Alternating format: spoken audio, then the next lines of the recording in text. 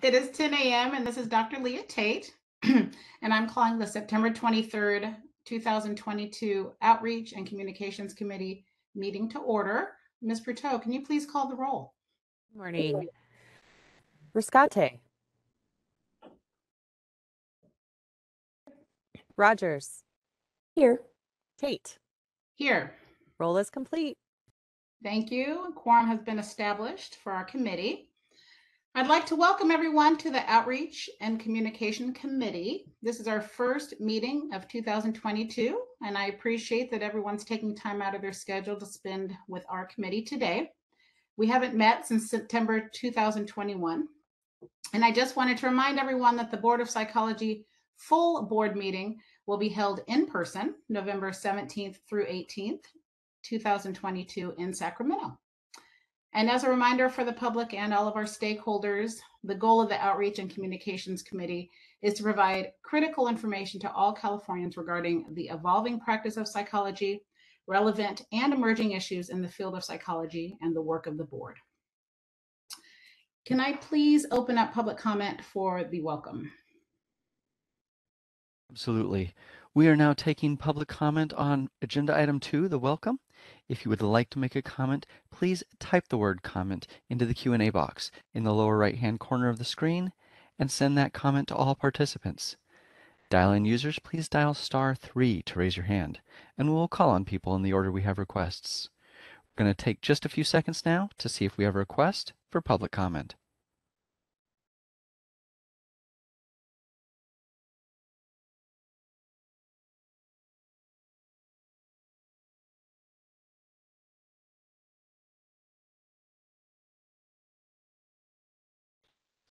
We have a request for comment from Dr. Emus. Hold on just a moment. We're going to send you a request to unmute your microphone. Can you hear me? Yes, go ahead, please. This is Dr. Marilyn Imos uh, from the California Department of Corrections and Rehabilitation. I just want to tell you how much I appreciate your today's meeting. Uh, meeting again, it seems like it's a long time and uh, I'm I'm very happy to be here and to represent our department here. Thank you, Ms. Emus. We're happy you're here also. And that was our only request for comment at the moment. Do you wish to return to the agenda? Yes, I do. And I apologize, Dr. Emus. Moving on to item number three is public comment for items not on the agenda, the committee may not discuss or take action on any matter raised during this public comment section, except to decide whether to place the matter on the agenda of a future meeting. Mr. Moderator, can you please open up public comment? Absolutely. We are now taking public comment for items not on the agenda. If you would like to make a comment, please type the word comment into the Q&A box in the lower right-hand corner of the screen and send that comment to all participants. Dial-in users, please dial star three to raise your hand, and we will call on people in the order we have requests. Let us take about 15 seconds now to see if we have a request for public comment.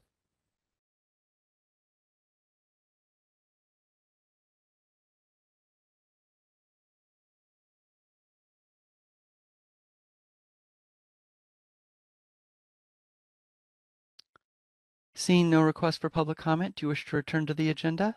Yes, and thank you.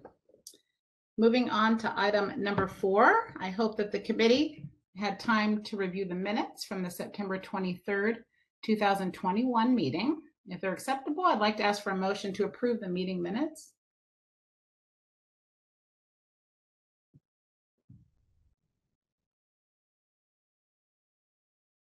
Dr. Tate, hi, this is uh, Dr. Rogers.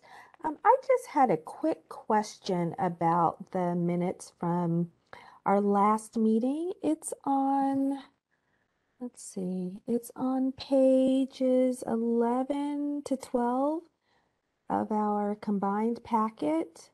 Okay. Um, so agenda item 12 starts on page 11, um, but my question is actually on page 12, line 183. This is about the um, digital divide questionnaire. It says that um, I would work with staff and legal counsel along with CPA to draft the questions.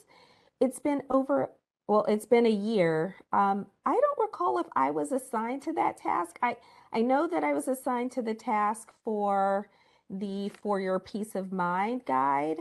Um, but I was just curious about that. So it's more of a question. I'm trying to bring it up. Okay. But if Ms. Sorrick, well, I'm Yeah, I was going to say if uh, You staff members I'm- have. I'm uh I- I have to be honest, I don't remember us assigning that piece to you. I remember assigning the brochure and um I kn- know that we um Ms. Chung and I um agreed that we would work on a draft to bring back to the committee, but Mhm. I and I don't know if it's because it's been so long, but um this is not um apologies, but this isn't what happened. Um you have a draft of a survey um in your packet today to look at, and then it'll be coming back to the board where uh, usually CPA is uh, a participant, so could provide input there. Mhm. Um, and I know they're probably not here today because they have their convention this week. Oh, Um, so there is opportunity for input on the draft, and the draft is not very long. Um, so I just want to throw that out there. Apologies for if we if this is what we agreed to and that's not what happened. Okay, Um, thank you, Ms. Sorrick. I just wanted to double double check um, because I usually have a running list of my responsibilities, and I don't remember that one having been on the list. So I just wanted to double check and make sure that I wasn't actually included in that particular project. Yeah, I, I recall it the exact same way that you were doing the peace of mind because of your awesome editorial skills. And I remember saying that. so, um, I don't recall it with this piece. What is the most appropriate way to approve the minutes with editing 183 to 185 or wait until, I hate to say next year, to approve the, the minutes? What's the best way to move forward is- if Ms. Marks is available? Uh, I'm wondering for consideration if if if you uh, if you both and Ms. Riscate um, are in agreement to delete 183 to 185. Um, if that's not what we all recollect, um, and then if Ms. Marks is okay with that, we can amend that out of the minutes. Yes, I Um, think that because the motion um, was a little more general and applied to, to what we did and, and what we all kind of uh, recollect. Is that, o- is that okay, Ms. Marks? Yes, that would be okay uh, if you are all in agreement that the motion or the, at least the uh, suggested action does not reflect what the discussion was, then you can move to uh, approve the minutes with that amendment or correction done. I just want to be sure that there's a, that you're not uh, now saying we're going to do something different and amending the minutes if they're accurate. But if they're not accurate, then go ahead and correct them. So let's do a motion with the amendment. Or just keep the motion and second on the table and add an amendment. Is it okay for me to move that we adopt the minutes from the last Outreach and Communications Committee meeting with the noted changes on lines 183 through 185? Is that accurate? Yes. Okay. Well, that is my motion. Thank you, Dr. Tate. I can second that motion. Um, Mr. Moderator, can you please open up for public comment? We are now open for public comment on the motion. If you would like to make a comment, please type the word comment into the Q&A box in the lower right-hand corner of the screen and send that comment to all participants. Dial-in users, please dial star three to raise your hand, and we will call on people in the order we have requests. And I see a hand from Dr. Rogers. Would you like to speak, or is that a residual hand up? I am so sorry. That is a residual hand raise. I will lower it now. Thank you so much. All right. And let's take just a few more seconds to see if we have a request for public comment.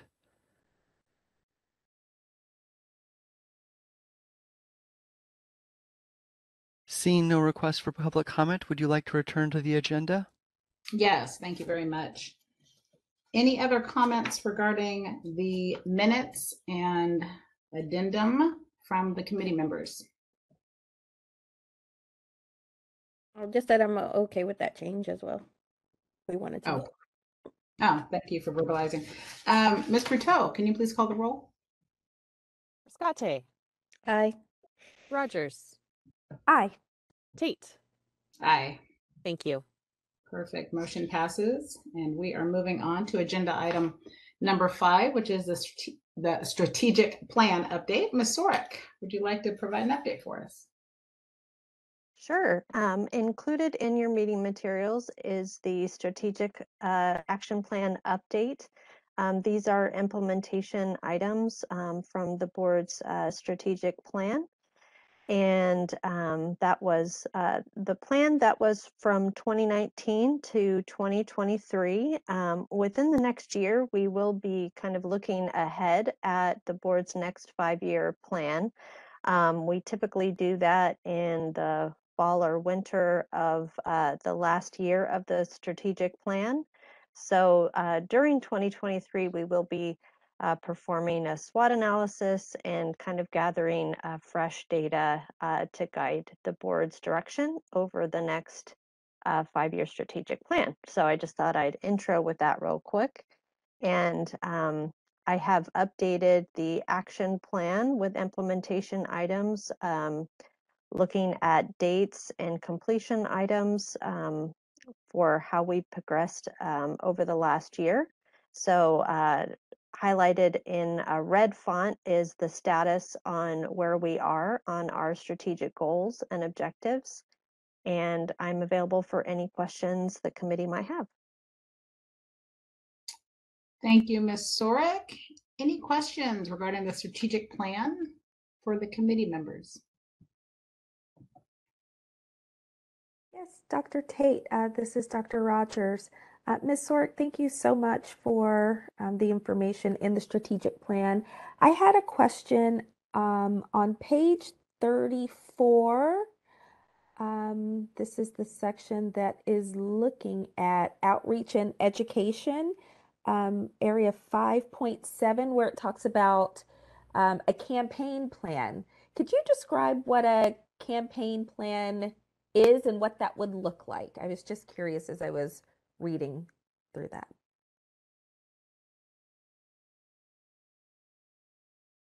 So, um, what came up during the uh, SWOT analysis um, and kind of was brought to the board uh, that was developing the strategic plan was that there was some confusion about the role of the professional association versus the role of the board and what we who we are and what we do. Um, so uh, one of the objectives that the board came up with was increasing stakeholder awareness of the board and what our purpose um, is and how that may differentiate uh, between the professional association and the board.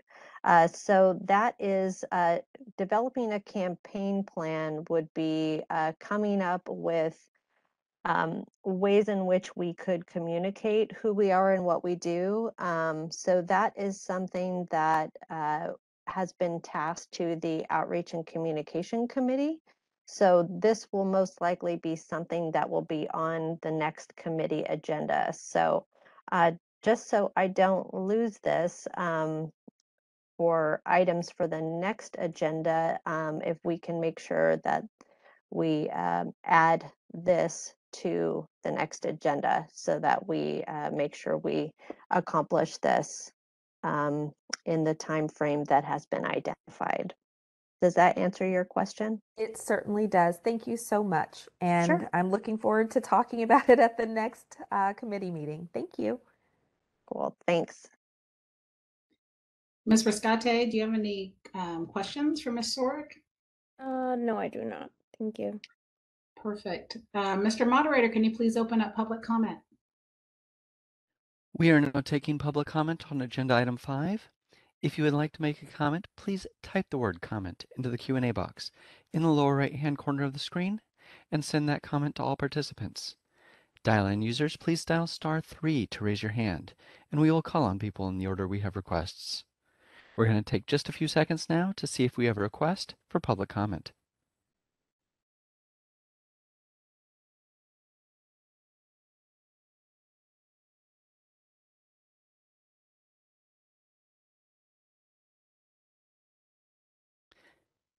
Seeing no request for public comment, do you wish to return to the agenda? Yes, I appreciate that. We are moving on to item number six, the social media update. Mr. Glasspiegel, please. Good morning, committee members. Included in your meeting materials is agenda item number six, which is the social media update. Um, due to changes with the Facebook Meta Analytics, uh, I am no longer, and board staff is no longer able to track likes or followers over time. Uh, so we are able to provide the current number of Facebook followers as of now. Uh, the previous charts of likes over time and followers over time have been removed uh, if you see them missing. Uh, we are additionally only able to see the most popular posts within the last 90 days, and I used to be able to do for a whole year. Um, but included in the meeting materials is our total followers, most popular posts in the 90 days, um, the our Twitter follows followers and who we are following, and total tweets, as well as views for board and committee meetings uh, over 2022 and 2021. Um, and that is it for uh, agenda item, agenda item number six, and I'm happy to answer any questions. Thank you. Thank you, Mr. Glasspiegel. Any committee members have any uh, comments or questions regarding the social media update? Uh, I just wanted to confirm, so, um, you're the, you're the one that's in charge of posting and stuff, or is there like an actual person dedicated to social media updates? Generally, go ahead. I was just gonna say, we kind of round robin this one. Uh, Mr. Glasspiegel, um, will sometimes post. Um, sometimes I post, sometimes Mr. Gage will post. Um, so it just depends on what the item is and who is in the office. But no, we do not have anybody de- dedicated to, uh, social media or, uh, website posting. Okay, thank you. Dr. Rogers, do you have any comments for Mr. Glasspiegel or questions? Thank you, Dr. Tate. I was I was formulating a question. I wasn't sure if this was um, appropriate to ask here or not, but I'm just thinking about um, the strategic plan. So I'm sort of going back to item number five, something that I read um, in the strategic plan. I saw that there was um, a plan to oh goodness, I can't recall exactly, but there was there's a plan to to present um, a YouTube video for some aspect of licensing. I'll have to go back to um, find it exactly, and I think the the metric was how many YouTube views there were of that video. I, I don't think it has happened just yet. So I was just wondering um, for the social media update. I know we have um, information from Facebook and Twitter. Do we have a, a YouTube account for the Board of Psychology established already, or is that something that will be established um, as we work on the strategic plan for the videos that were um, listed in item number five? Sorry if that question is unclear. I can speak to that. Okay, uh, great. Thank this you, is- Mr. Glasspiegel. No problem. I was gonna say this is Jason. Uh, DCA has the YouTube channel that they post all the committee and board meeting uh, board meetings on. But just like I did for um, agenda item well six C, which is the committee and meeting and webcast, uh, we can include the views of those videos when they are done into the social media uh, update. Okay, that would be helpful. Great. Thank you so much. No other questions. Thank you, Dr. Tate. Thank you. Mr. Moderator, can we please open up public comment for this item? We are now taking public comment on item six. If you would like to make a comment, please type the word comment into the Q&A box in the lower right-hand corner of the screen and send that comment to all participants. Dial-in users, please dial star three to raise your hand, and we will call on people in the order we have requests. We're going to take just a few seconds now to see if we have a request for public comment.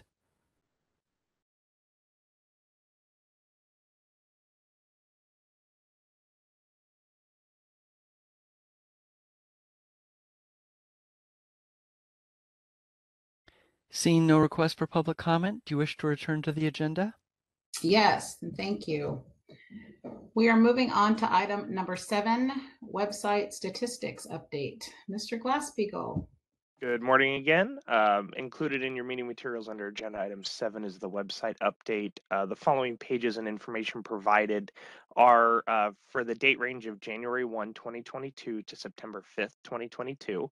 Uh, so the first part lists the top five pages, uh, not including our homepage uh, of website usage. And then I have the bulleted list at the bottom of the memo page, the first page, which lists the newsletter page, most recent newsletter, continuing education page, laws and regulations page, filing a complaint page, applicant information page, disciplinary guidelines or disciplinary actions, uh, excuse me, page, and then the COVID 19 FAQ page.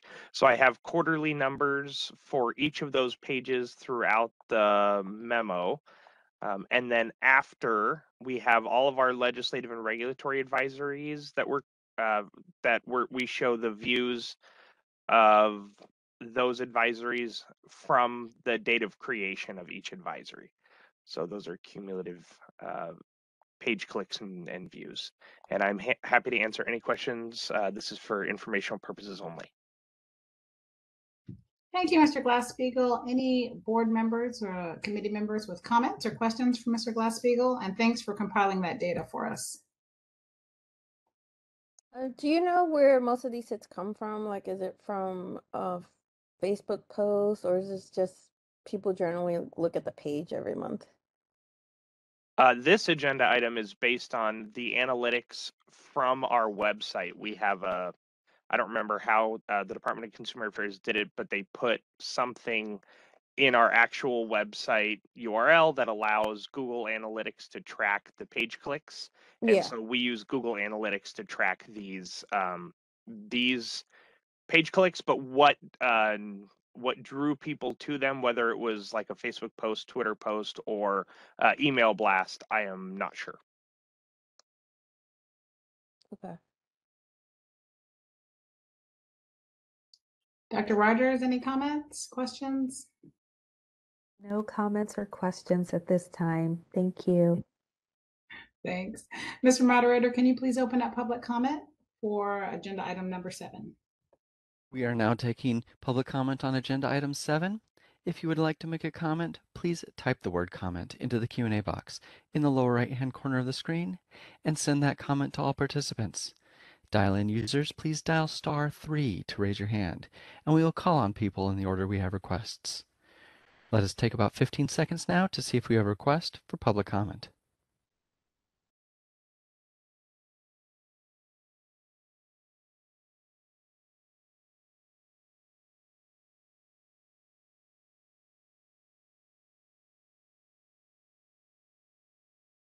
Seeing no request for public comment, do you wish to return to the agenda? Yes, I do. Thank you very much. So we're moving on to agenda item number eight, which is the update on the newsletter. Uh, The Board of Psychology Fall Journal was recently emailed out and is in the agenda materials for your review. And thank you again, Dr. Rogers, for your addition to the journal. And the next journal will be out um, during winter. Ms. Sorrick, do you have anything to add? Uh, just available for any questions um, the committee members may have. Um, Perfect. Uh, Any questions regarding the newsletter update for committee members? Uh, yeah, this is Shacunda Rogers. Um, I'll just make a quick well, two quick comments. Um, one, thank you, Dr. Tate, for your kind words. Um, and secondly, I really appreciated the article from Dr. Horn on guidelines for closing a psychology practice. That's something that's not often discussed, um, what the specific steps are, or if there's a framework for that. So I found that to be particularly useful this time around. So I'm really glad that um, Dr. Horn is a contributor to the newsletter from ASPPB. Thank you. I agree with you. I love um, the articles we've had the past few years are, have all been interesting. So I've I've enjoyed the newsletter. Um, Ms. Rascate, do you have any comments or questions? Uh, no, I don't. Thank you. Okay, perfect. Mr. Moderator, can you please open up public comment? We are now taking public comment on the matter. If you would like to make a comment, please type the word comment into the Q&A box in the lower right-hand corner of the screen and send that comment to all participants. Dial-in users, please dial star 3 to raise your hand, and we will call on people in the order we have requests. Let us take about 15 seconds now to see if we have a request for public comment.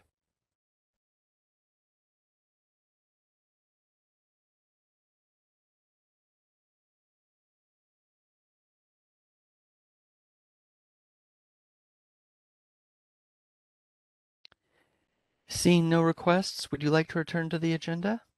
Yes, and thank you, Mr. Moderator. We are moving on to agenda item number nine, outreach activities update. Ms. Sorrick, please. Thank you. Um, included in your meeting materials um, are the stakeholder meetings uh, conducted in uh, the current fiscal year. Um, and I just wanted to add that uh, we have another couple that if the committee is okay with it, I will report those items um, and then we can include it in the board meeting uh, report out materials from the committee meeting. Um, I wanted to add that I attended the uh, BARC meeting, which is the uh, meeting of um, my colleagues in other states and Canadian provinces on August 16th. Um, the topics for discussion included emotional support animals, um, that there uh, was a theme or pattern seen of um, licensees not assessing but referring for emotional support animals. Um, they talked about the National Practitioner Data Bank Compliance Audit, uh, the InFocus report, which you'll be hearing about later in the agenda today, the master's degree task force, which um, is being established, and then there was a roundtable discussion. Um, additionally, in October, on October 13th, uh, Dr. Clinton Gardner, president of California Southern University, invited board president Tate to be the commencement speaker at the Grove in Anaheim, California. And there's expected to be approximately 100 to 120 graduates. Um, and this is a first in-person graduate uh, graduation for this institution since uh, the COVID pandemic. So I wanted to report on those items. Um, and then also just wanted to touch on our participation. Um, Mr. Glasspiegel, Ms. Hoganson, and myself participated in a webinar that was hosted by the California Psychological Association. Um, and this was in regards to the new continuing professional development regulations. Uh, there were 355 individuals that participated in the webinar, um, so really great attendance there. Um, we stayed on for about an hour and a half, um, and there were several questions um, in that webinar that we were able to field and some more follow-up that we've been doing with CPA since uh, the webinar happened. So that is the report on outreach activities, and I'm available for any questions the committee may have. Thank you for the report, Ms. Sorrick. Thank you for elaborating on the CPA webinar. I was a little curious about how many people joined that call, but that sounds amazing to have that many people ask questions and um, tells you how, how interested people are about the CPD. Any other committee member comment or questions regarding the outreach activities update? Yes, Dr. Tate, this is Dr. Rogers. Um, Ms. Sorrick, thank you so much for uh, your thorough report. Um, two things. One, Dr. Tate, you'll have to let us know how um, your speech goes on, was it the 13th of October? Can't rem- remember if I wrote that down correctly. Um, and then, secondly, uh, Ms. Sorrick, when you were um, discussing uh, the CPA webinar uh, regarding the CPD rollout. Um, I was just curious if there are plans to have any additional webinars once the new model goes into effect. So it sounds like you had one as we are anticipating it, but are there any plans to continue to have um, those kinds of uh, engagements with licensees uh, if they have continued questions? As um, we figure out how to navigate the new model. You know, we hadn't planned on anything, but um, that's something we can certainly follow up um, with. Uh, it, I, I wasn't expecting that kind of engagement and attendance, um, so that was phenomenal. Um, we do plan to do um, a frequently asked questions um, a month into when the regulations are in effect. Um, and then we're also planning to do a YouTube video, which will lay out um, how the uh, continuing professional development regulations um, are going to be implemented. Um, I, we don't have any plans on that, but we can, that's something we can certainly um, explore. We, we haven't done a webinar ourselves, but I, I Mhm. think it's, it really presents a, a nice opportunity to um, engage with our stakeholders and, um, you know, still be within our fiscal framework of Mhm. not traveling. So Sure. um, I, I'm certainly open to it. Mr. Glasspiegel, did you have any thoughts about that? I mean, it's, we could probably do it on WebEx. I, I agree. It seems like it should be um, easily done, whether we do it ourselves or or work with CPA again. I, I think we can definitely come up with some. And as I'm kind of thinking out loud, I'm wondering if um, it might be an opportunity if we did a webinar once our FAQ and YouTube video um, are ready, that we could use it as an opportunity to launch those two items. And then after the launch, we can be available for any questions. Oh, that sounds like a great idea. I think that's a great idea. Mhm. And um, I also had the question about the FAQs. Will you take any of the questions that may be asked or were asked um, during the webinar if those will also maybe be included in frequently asked questions?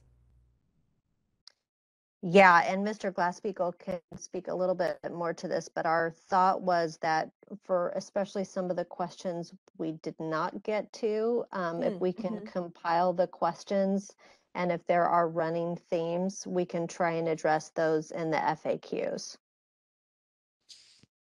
That's exactly correct. We are um, working right now currently with the FAQs or the remaining comments that CPA had left over to make sure um, that we compartmentalize and address those. Um, and I was actually reaching out to Ms. McCochran just to let her know that we are discussing this right now, so that way we can make notes to um, keep in mind to schedule a webinar. Did I answer all the questions? Yes, you did. Thank you so much. Much appreciated. My Thank pleasure. you, Rodgers, for a good suggestion. Ms. Riscate, do you have any questions or comments about outreach activities? Um, no, it all looks great and great suggestion as well. Perfect. Mr. Moderator, can you please open up public comment? Absolutely. We are taking public comment on agenda item nine. If you would like to make a comment, please type the word comment into the Q&A box in the lower right-hand corner of the screen and send that comment to all participants. Dial-in users, please dial star three to raise your hand, and we will call on people in the order we have requests. We're going to take about 15 seconds now to see if we have a request for public comment.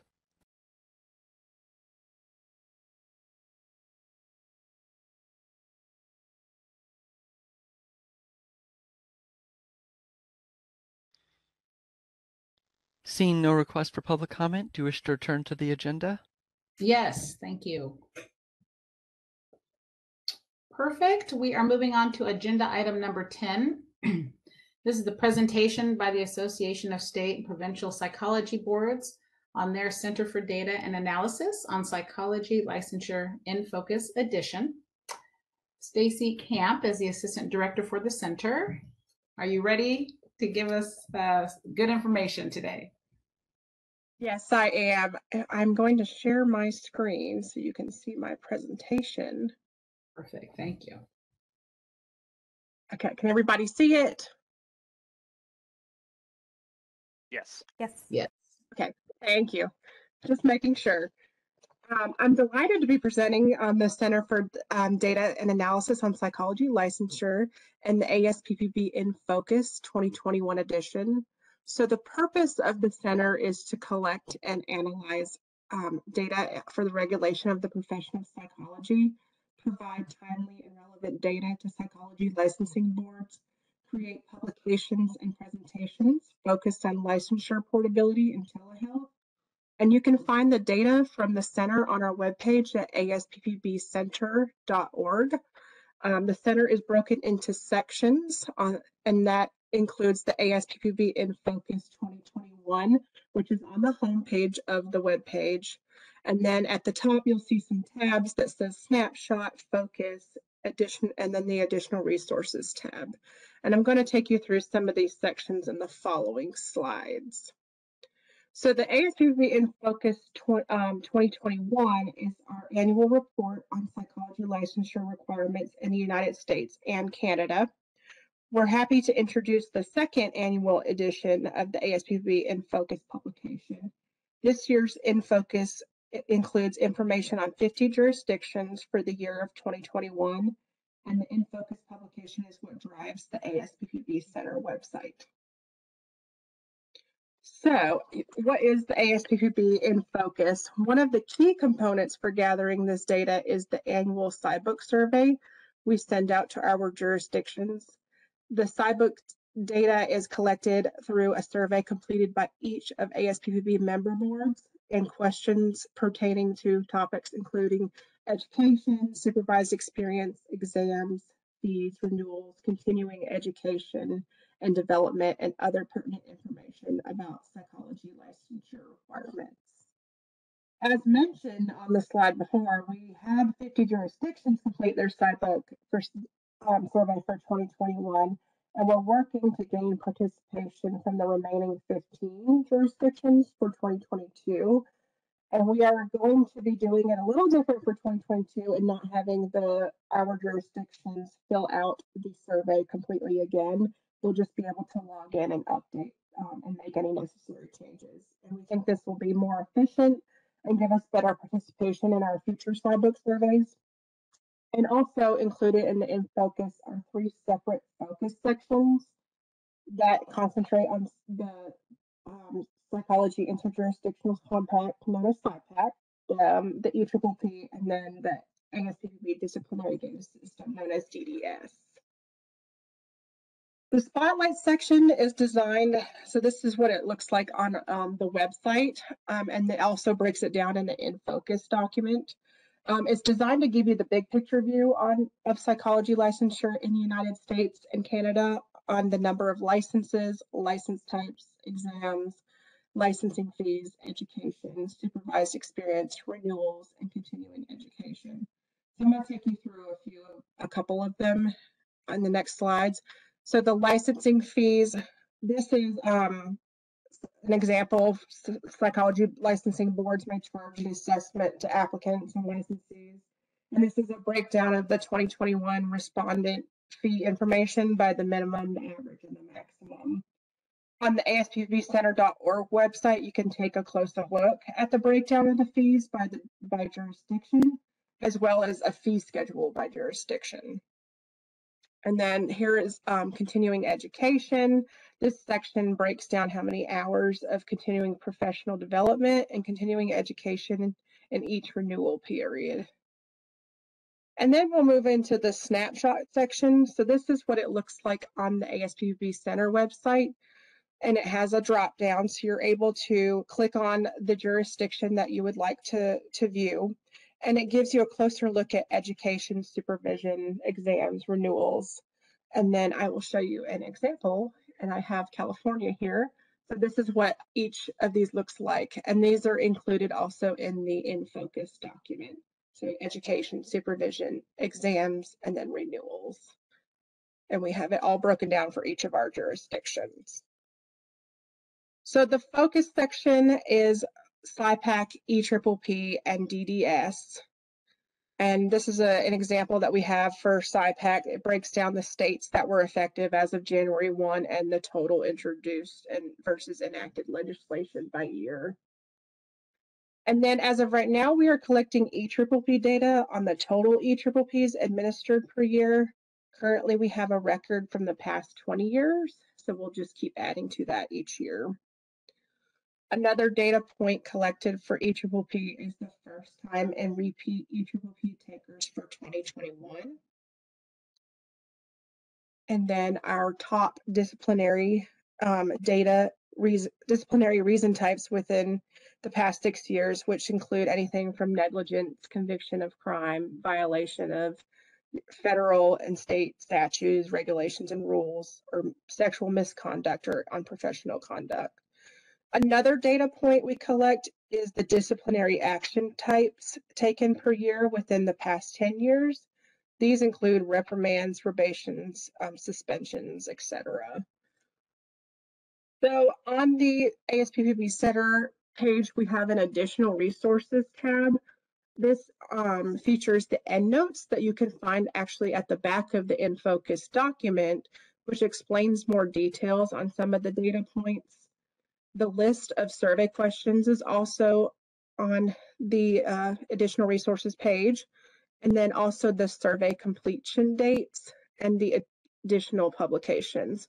Currently, we have archived the, the first edition of our In Focus publication, and that's for 2020. And so that is actually inside the additional publications section. So if you want to take a look at that. ASPPB has um, this past spring developed a research committee to help support the ASPPB Center. The research committee is tasked with carrying out research to support the center's initiatives and independently generating research ideas and responding to requests and be the liaison with other ASPPB committees around research and provide white papers when uh, the research committee has met one time and their first project right now is get, gathering data on sunset reviews as a possible informational source. Currently, they believe that the only that only our U.S. members must participate in a sunset review, but they're hoping that more data gathered as part of this project would be useful to all of the, our SPPB members. And so the Center for Data and Analysis on Psychology Licensure and the ASPPB in Focus is supported by the Health and Services Administration of the U.S. Department of Health and Human Services under our grant number for licensure portability for the licensure portability program. The grant is currently from 2019 to 2024, so we're in the third year and we have seen a lot of traction from this project. That includes my brief presentation on the ASPPB in Focus publication and the center. I want to thank you for your time. And if you have additional questions after today, please feel free to email me or you can email Janet as well. And we'll be happy to answer any questions you may have. And I can answer any questions you may have now. Hi there, it's Leah Tate. Um, I, just an amazing amount of information. I mean, Yeah. that was that was incredible. Every slide just had so much data. Um, So my question is, so you just said that the grant started in 2019. Does that mean there was a grant before that lapsed or this all started in 2019? Um, I think that the, this one was a new one. Uh, there was previous grants. I, let me, I will check with Janet and get a hundred percent answer on that one.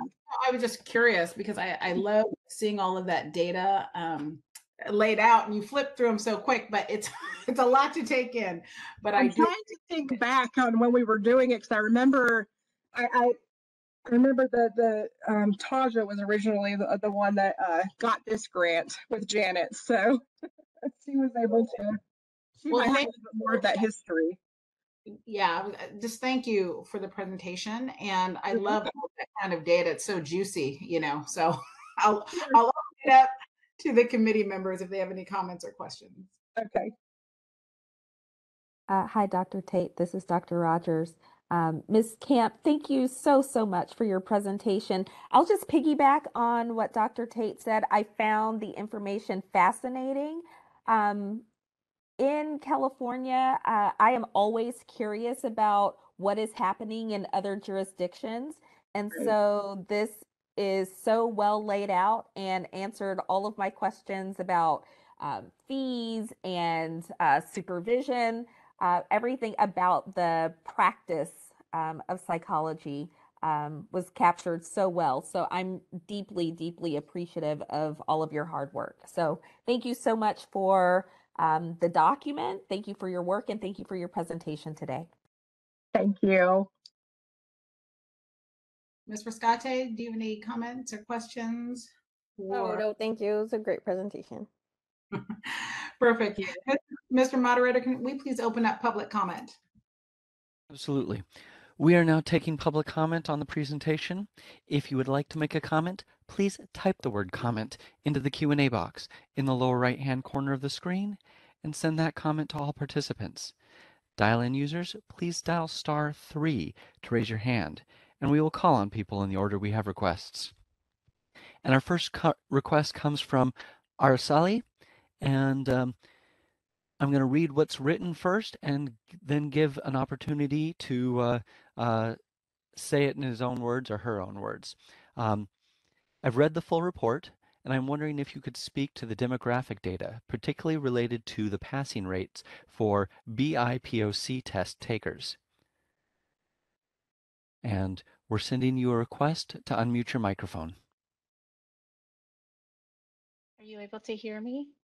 Yes, go ahead, please. Okay, perfect. Hi, good morning. This is Dr. Araceli Lopez, and I'm licensed, newly licensed in California. And I am a multiple test taker. I passed the EPPP on my fifth attempt. And it wasn't until I um, reached out for different tutors and, and different programs and um, and so in connecting with a lot of other peers, especially um, you know uh, people of color, Black BIPOCs, I'm wondering if there is any publicly available data that speaks to the perhaps the adverse impact that is happening for our, our BIPOC community. Um, we're really needed in the community. I've spoken to you know, so many people, over 20 people at least. Um, and there's a lot of, you know, uh, there's a big community of repeat test takers. And I did read the full report. I, I stumbled upon the website. I think it's excellent.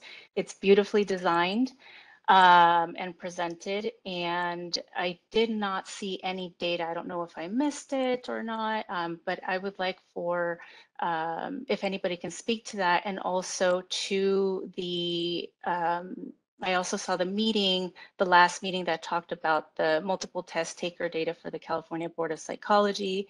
And there is a lower passing rate in 2021 in comparison to uh, even when COVID was active.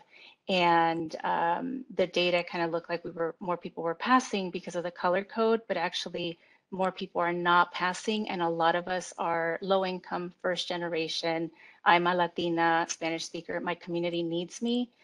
And it took me about five years to get licensed. And so I'm wondering if anybody could speak to that.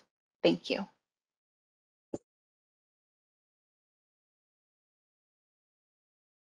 I know currently um, our test data has come from our um, test department at ASPPB. So I I can take that feedback back also to Janet and to um, to Marianne, and I think that that is an excellent um, possibility of adding that to our in focus document and the center website.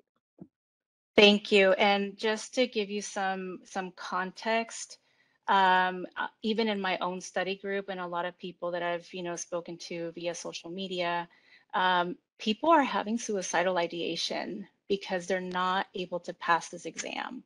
That is the gravity of of the impact of the exam, and I we just want to understand what is going on why are we not passing? These are top of the field neuropsychologists, child psychologists, myself. I went to a PhD program, Research One, top training in the country with a master's in public health. And despite my best efforts, I wasn't able to pass and I struggled.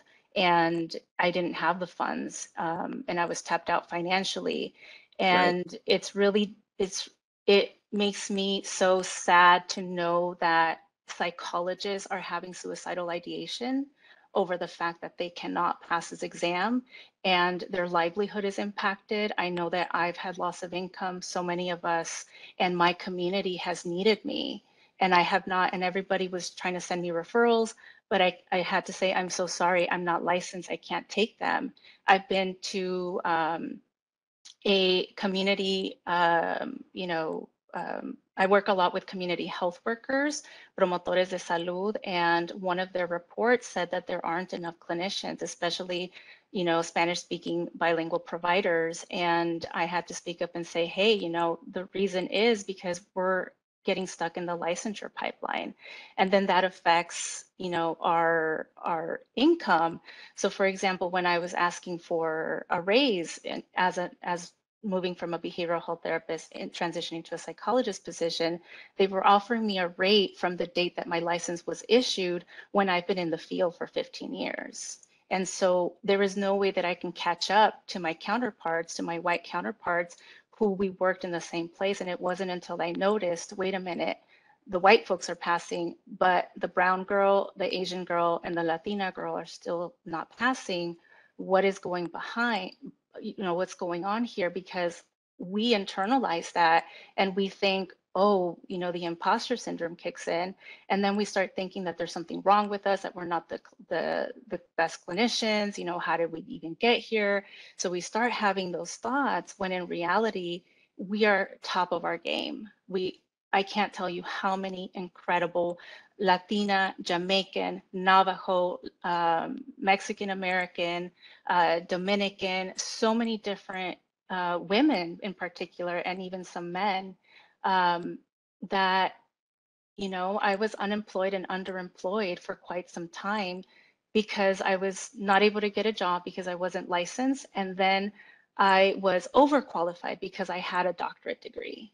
And so I really struggled with this process and I would like some data to report on this because if we're about health equity, you know, APA, ASPPB, all the different boards of psychology, given the need of our communities and currently post-COVID, you know, it, it, there there is inequity happening. And I would just like, as a data person, I would like to understand um, more of that. So I think the report is fabulous, and I think it would be really key to be able to report on those numbers. Thank you. I may also um, bring this to our research committee as well. We're supposed to be meeting, we're still having some scheduling conflicts, but as right now in November of this year. So that would be a really great topic to discuss at the, our next committee meeting. Great, thank you. You're welcome. And, and how can we be informed or participate in this process? Because I know many of us are have the very same questions and many are not able to attend because some of them are working. Um, but how right. could we be involved in this process? Um, if you'd like to be involved, you can, um, my email at scamp at asppb.org, and I would love to um, um, work with you on that and any of your um, ideas and feedback. We also have on the ASPPB Center website, there is an email page where you can submit research, proposed research projects. That okay. is on there as well. Okay, wonderful. Thank you. You're welcome. Thank you so much for the comments, and I'm sure that with all the data, they can pull some more. So I'm sure Thank it's somewhere. Um, thanks. Next request comes from calling user three. Caller three, we're going to send you a request to unmute your microphone and you're going to dial star six to unmute.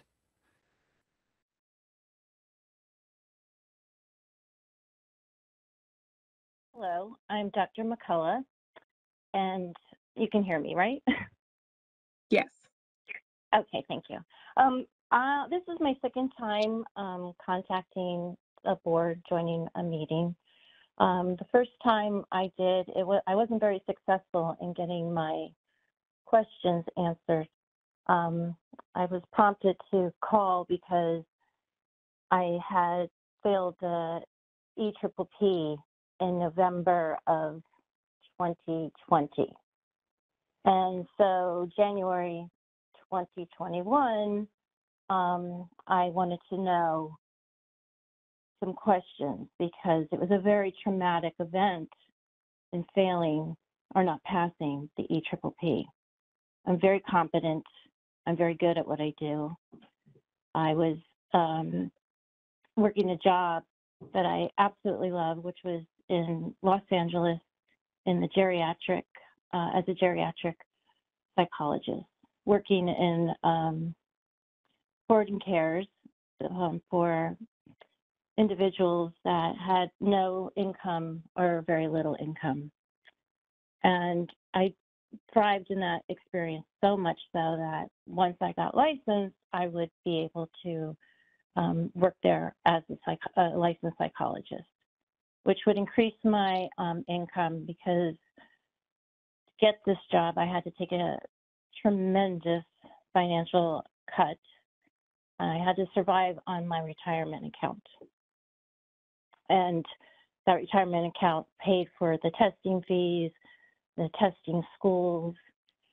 Um, so anyway, it was very, um, it was very, very traumatic that I did not pass because uh, I was financially in dire straits. I lived in downtown Los Angeles. It was very expensive. COVID was very hard, and it was a very scary, scary time. And in retrospect, I should not have taken the EPPP because of the stress I was under.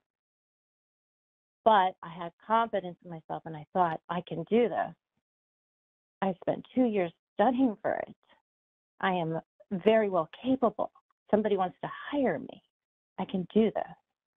And it didn't happen.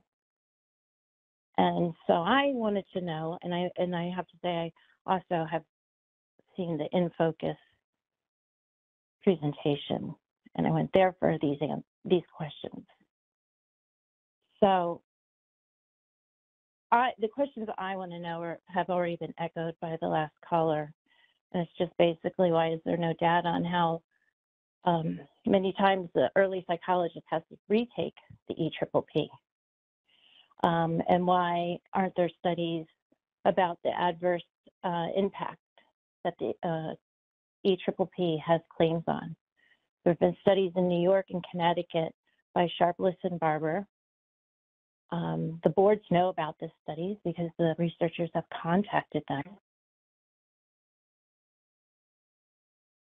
Absolutely. I'm going, I just wrote those next, those additional questions that you had that you think that that you you would like to see. Um, so this has been last year was our first edition of doing this, and then we took it over. Um, our I took it over last year, um, this past summer, and so we are still building off of this. So we are very open to adding any more more data and more in depth, going even further into it. So I, I definitely think these are very good um, points of feedback for us. Thank you. Um, the other question I had was um, why um, there's also claims that um, there's a higher pass rate for PhDs as opposed to PsyDs. That would be something else to, to study into. Um, and I've also have composed part of my process in trying to figure out what the heck just happened to me after the EPPP was to do research. And that's where I got the questions that I've presented with you as well as others. And I will be sending that to the board. Um, and hopefully I will get answers because the last time I spoke to the board, basically I was told to go ask the test makers, ASPPB. And I, I didn't, I didn't accept that because the board makes me, any early psychologist, take this test. So I think the board needs to understand these questions as well and be able to make their reasoning on these questions public. Thank you for your time.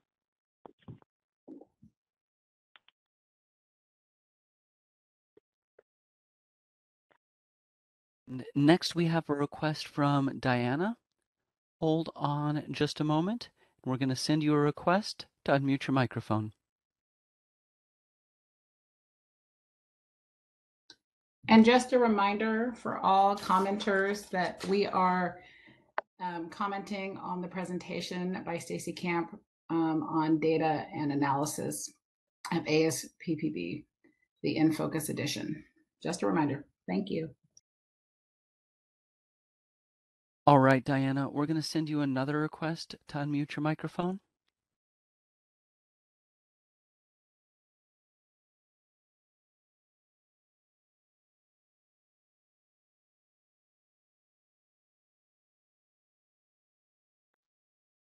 All right, give us just a second here.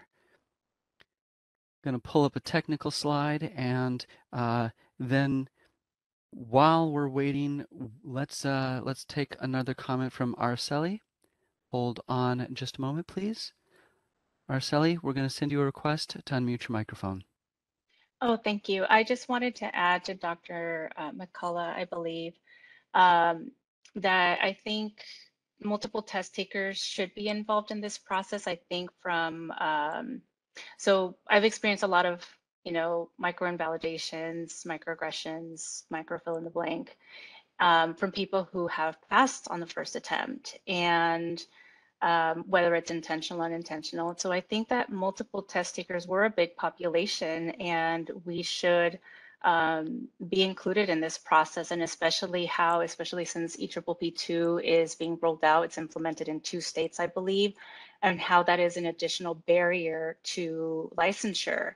And, you know, I've even considered before finally passing the exam, I considered, you know, changing careers after $180,000 in debt and after spending, you know, 10, 12, you know, 15 years actually since I started in 07 this field, this this field.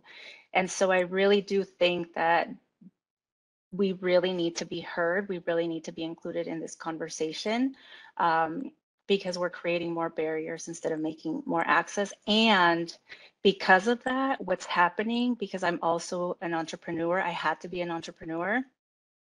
People are coming into our space and they are claiming so all these BetterHelp all these um, apps um, i'm i'm in tune to what's out there and these companies these tech companies are getting into our space and i don't know how much regulation they have but the more and more that you know we don't have access as as a psychologist i studied this right um, there are other people that are coming into the space that is also you know um, I don't want to say the word cheapening our livelihood, but they are um, providing services, touting themselves as more you know, affordable, more accessible. And um, we don't know, I personally don't know. I see some of these companies and I'm like, wait a minute, how are you vetted? Have you even gone through our process? So this is also a threat to, you know, the industry. And so I think that this this is a really big concern that has a big magnitude. And so I, again, multiple test takers should be included in this process. Thank you. Before you go forward, Mr. Moderator, can I make a comment, please? Absolutely. Perfect, thank you. Um, I just wanted to emphasize if a previous speaker has made comments that you absolutely agree with, it is perfectly fine to make a public comment and say, I agree with the previous comments that have been said. Go ahead, Mr. Moderator. Thank you. All right. We appear to have lost uh, Diana, um, who had a question about uh, qualitative data. So if they reconnect, we'll uh, try and come back to them. In the meantime, uh, Christina Cortez, looks like you have a request, and we're sending you a request to unmute your microphone.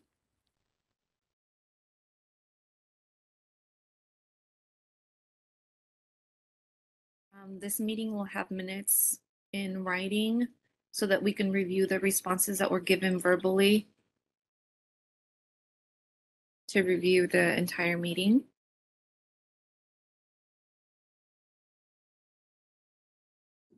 Yes, minute, minutes are taken at every meeting. and available to attendance. Absolutely. It's available to the public. Where might I be able to see those?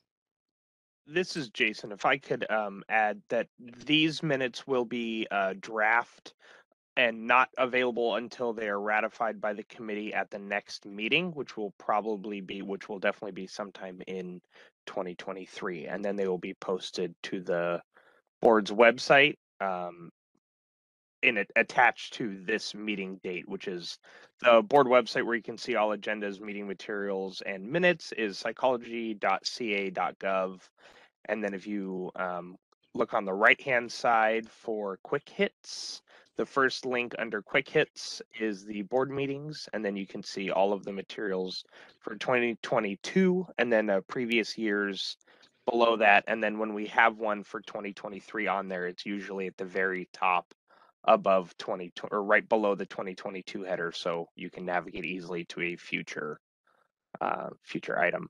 And um, the video prior to the minutes being available you will be able to access the um, the recording that is happening right now. So that will be added probably within a week or two uh, Okay. before the minutes That's and it'll be on the same page Got it. Thank you so much. no problem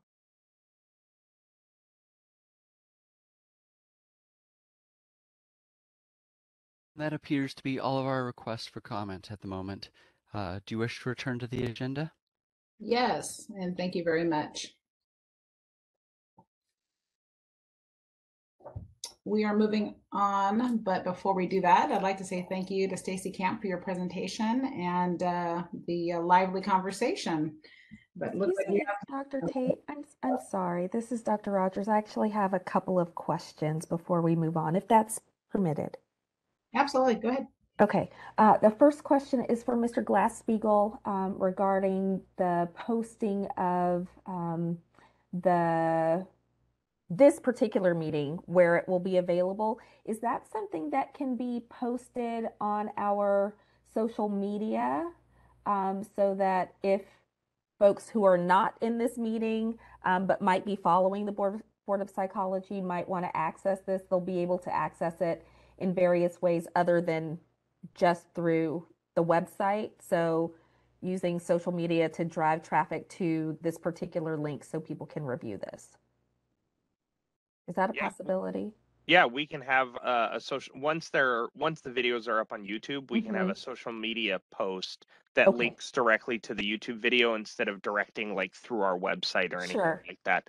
Um, or we could direct it through our website where they would click on the link uh, at the meeting there. But we can also go right to the YouTube link uh, through social media. Oh, okay, great. Thank you. No Um. So that's the first question. And then uh, my second question is for Ms. Camp, if she's still on the call.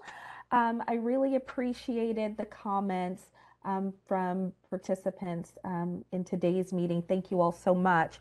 Uh, my question, and maybe it's um, putting the cart before the horse, but I am sort of curious. So let's say that uh, the center does this research uh, that folks are asking about, which I think is incredibly valuable. Uh, whatever the data reveals, is that something, of course, that you'll share with uh, the various jurisdictions, but will you then make um, specific recommendations based on the data, or will um, the information gained from the data be left up to the jurisdictions to decide um, what, if anything, needs to be done. Just curious if you had any thoughts about that. Um, I don't want to be like hundred percent say for sure if we'll Mhm. make recommendations. I know that some of it is writing white papers and all of that, Okay. but I'm thinking that um, most likely it'll definitely be something that goes to you know the, our jurisdictions as well. And um, I will double check with that on Janet um, because she's the chair she, um, of the research committee meeting, um, research committee at ASPPB. So I'm going to double check with her on that one and make sure. Okay, great. Uh, I just wanted to uh, put that out there for consideration. Thank you so much, Ms. Camp. I appreciate it. You're very Those are all welcome. of- All of my questions and comments. Thank you, Dr. Rodgers. Um, I'm looking at the time. I'm wondering if we should just need to take a 10 minute break and we can resume at 11:20 and pick up on agenda item number 11. Thank you.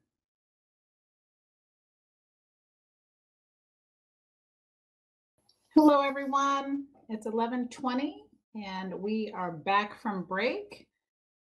Ms. Pruto, can you just call the roll to make sure everyone is back? Yes. Frescate? Here. Rodgers? Here. Hey. Here. Thank you. Thank you. Everyone is back. Quorum is established. And we're going to pick up with agenda item number 11, review and propose edits to board publication.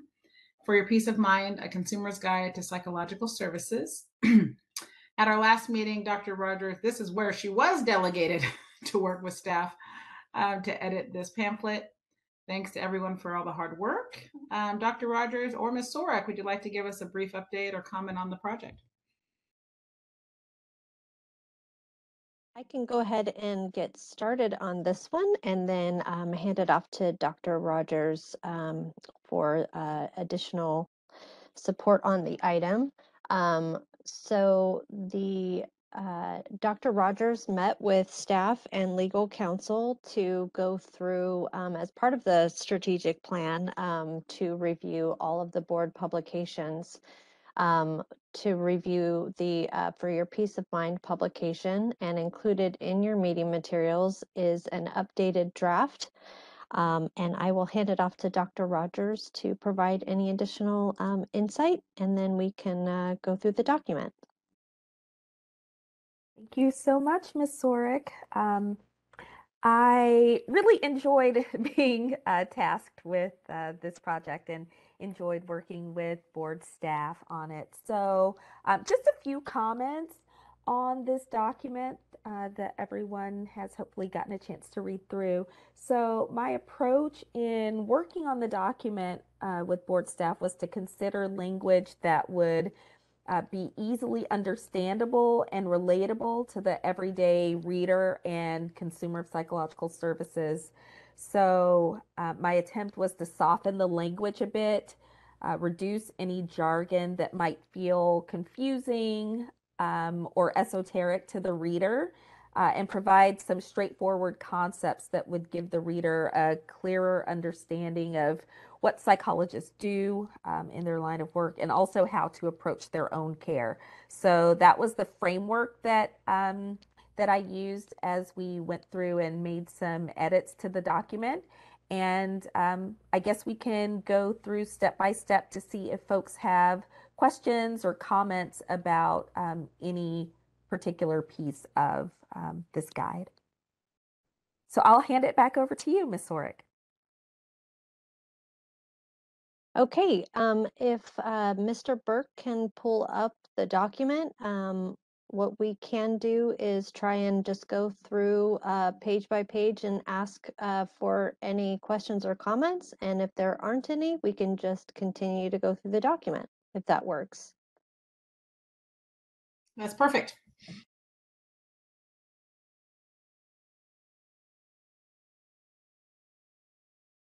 At the, uh, Mr. Burke, at the bottom of the screen next to the mute and unmute, there should be a share button and I've made you presenter.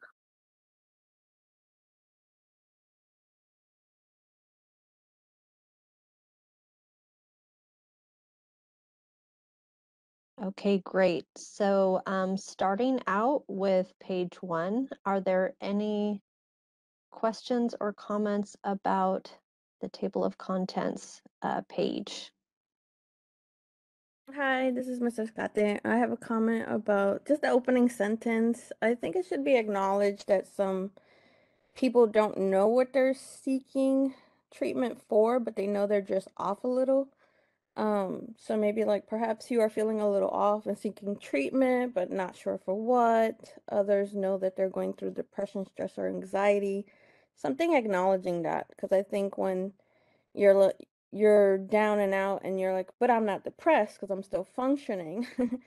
um, you might seek therapy, but you might not think it's for you if you see this where it seems like you should know what you're seeking treatment for. Did you have a particular paragraph or Yeah, that very first paragraph where it says perhaps you are seeking treatment for depression, stress, or anxiety. Um, like adding something in there, acknowledging, or maybe you're not sure, but you're feeling a little off.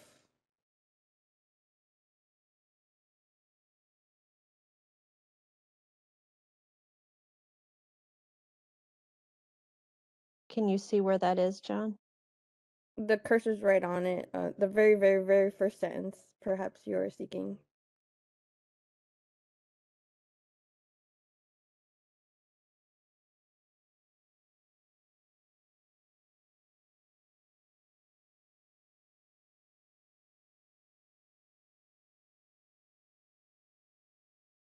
Yeah. And then Mhm.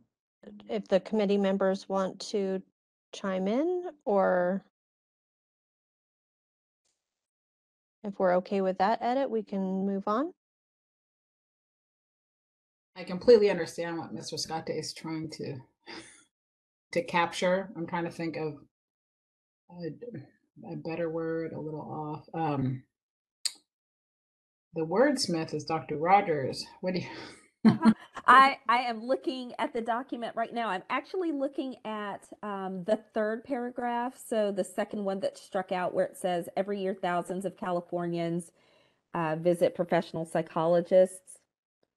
Um, I wouldn't necessarily um, put Can we that say exact sentence, but something along that line, right? So people seek um, the services of psychologists for a variety of reasons. Perhaps it's, you know, depression, stress, or anxiety, or you may recognize that, um, trying to think of how to say it, but something along the lines of something just doesn't feel quite right.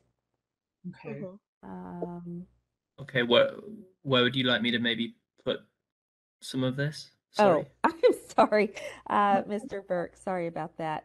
Uh, well, what does what does the committee think about taking the first piece of the third paragraph? So every year, um, Yes. Start. thousands of psychologists. Oh, I'm sorry, Mr. Burke. If you could scroll back. Yeah, you you were perfect. Yep. Yep. So the third paragraph here, but the second one that struck out.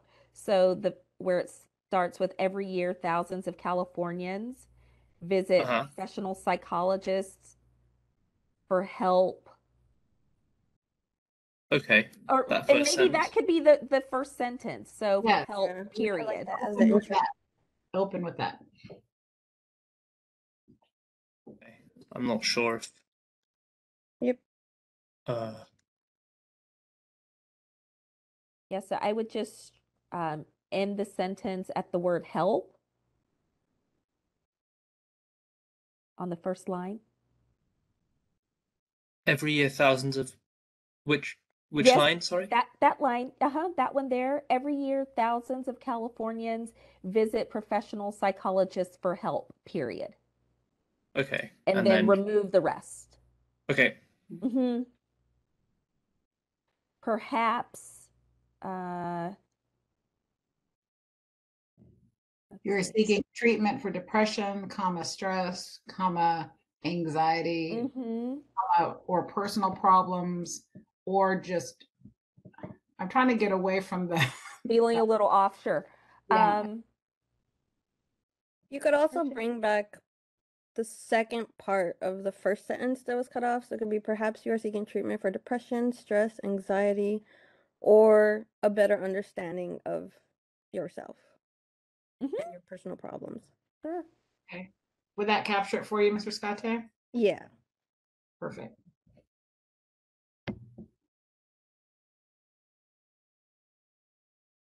And I, I would say um, of yourself um, or any challenges you may be facing. I like that. Mm-hmm. Okay. Thank you, Ms. Riscate. That's great. Thank you.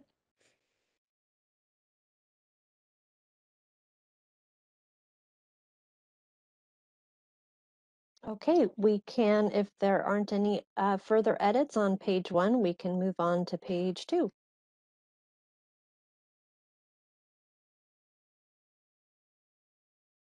Are there any um, suggestions or edits on page two? Not for me.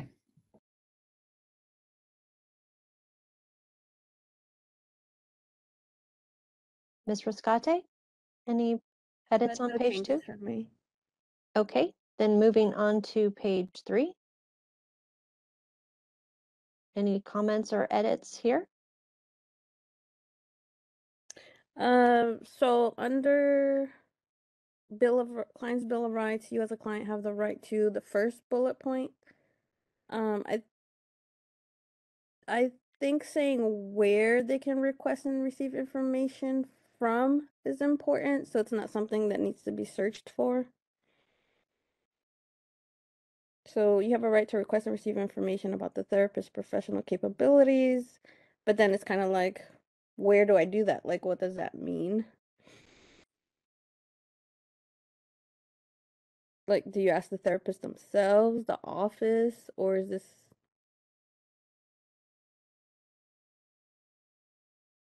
Are you saying include the BOP website for the?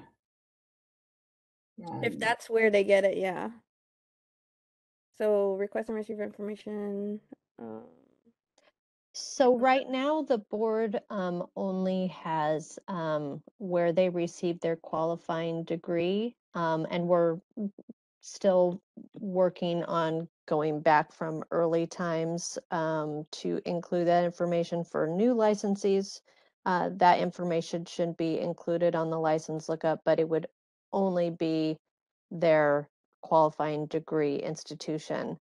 Um, anything about training, experience, professional association membership, that would be on their end. Um, so that may be through their website, um, through any materials they have in like Psychology Today or any other publications. So um, we would not be uh, overseeing that kind of information. Ms. Sorrick and uh, Ms. Riscate, I'm wondering if we could um, modify this sentence. Um, I'm still kind of formulating it, but something to the effect of, uh, let's see, you as a client have the right to uh, request and receive information from, uh, let's see, from the psychologist about their qualifications, which include, which may include the following. Does that Uh, make sense? The person knows that they can ask. Mhm. Let's see, request and receive information from the psychologist about their qualifications, which may include. Mhm. I like that. Is that Ms. is that Riscate? helpful, Ms. Riscate? yes. Looks good. Thanks for bringing that up, Mr. Scotty. I would just put a comma after qualifications. Yes, thank you.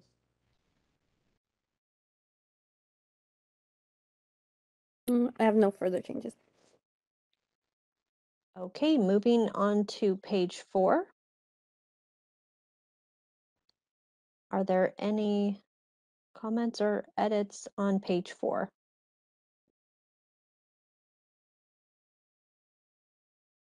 Okay, moving on to page five. comments or edits here?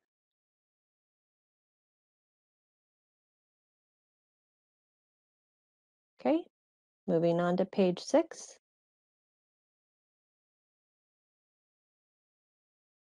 Comments or edits here?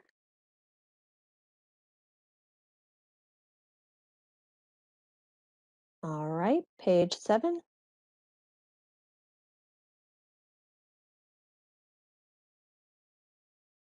Comments or edits here? Mm, Page eight.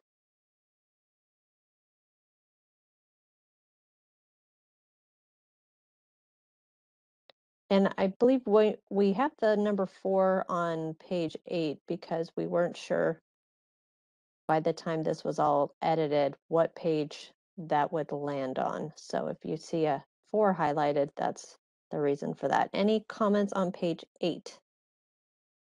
Thanks for explaining the four highlighted. Sure. Okay, moving on to page nine.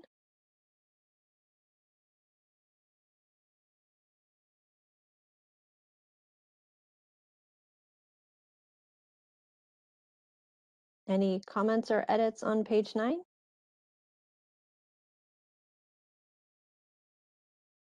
Moving on to page 10. Sorry, I do have one question on page nine. Trying to look Okay. sorry, there's a, my neighbor. That's okay. Um, where it says individual therapy. Um, maybe it's before that, or to prepare, um, it's the individual therapy, which is, oh, below that, I guess, page. Right there, right there. oh, uh. Oh, oh, yeah, okay, so keep going a little bit more. A little bit more, a little bit more, next page, I guess eleven.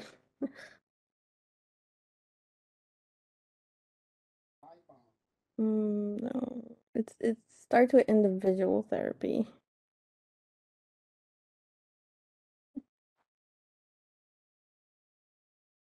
Um, what to expect during an individual group therapy session? It's below. The, okay, there.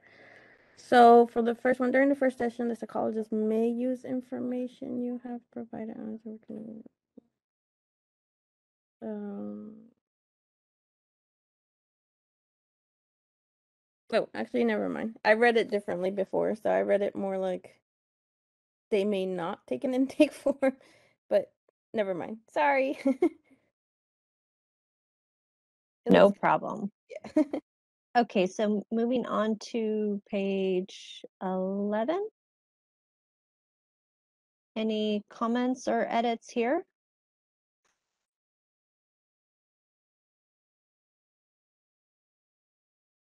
Okay. Moving on to page 12.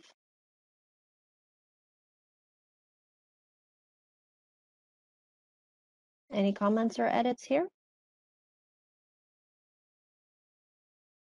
Page 13.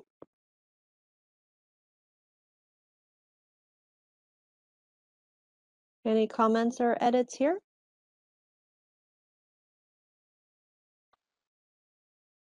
Page 14.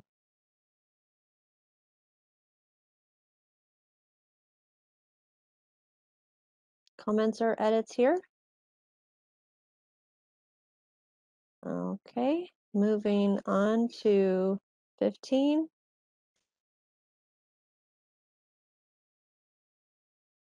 Any comments here? 16?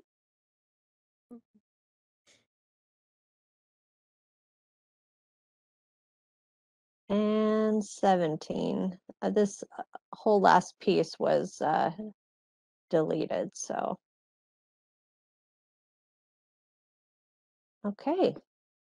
So um, I think that completes our uh, committee review. Um, aside from um, public comment, I think we would just need a motion to um, approve the draft for presenting to the board at the November meeting. Sounds good. Do I have a motion to approve the current draft for the November meeting? Uh, this is Ana Escate. I m- move. Okay, and I am happy to second that motion. Mr. Moderator, can you please open up for public comment regarding this agenda item? We are now open for public comment on the draft. If you would like to make a comment, please type the word comment into the Q&A box in the lower right-hand corner of the screen and send that comment to all participants. Dial-in users, please dial star 3 to raise your hand, and we will call on people in the order we have requests. And our first request comes from Nadia, who said, I agree with Dr. Rodgers. Maybe start out with the first sentence from the third paragraph. Nadia, we're going to give you a chance to unmute your microphone and tell us in your own words, uh, or tell us verbally. I was um, referring to her um, to, to the to the changes in the document. So I apologize. I put it in the the incorrect spot.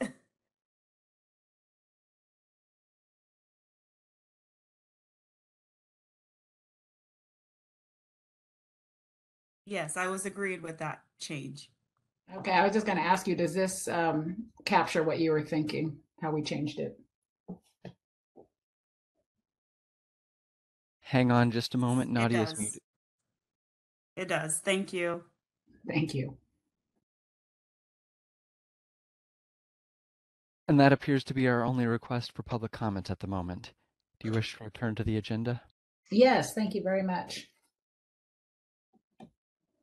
Dr. Tate?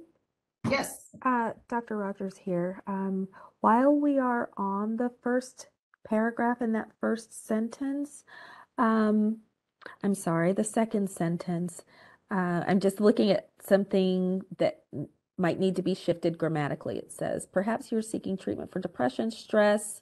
Um, I would take out the word or since we have or on the other side of anxiety. hmm Depression, stress, anxiety, comma,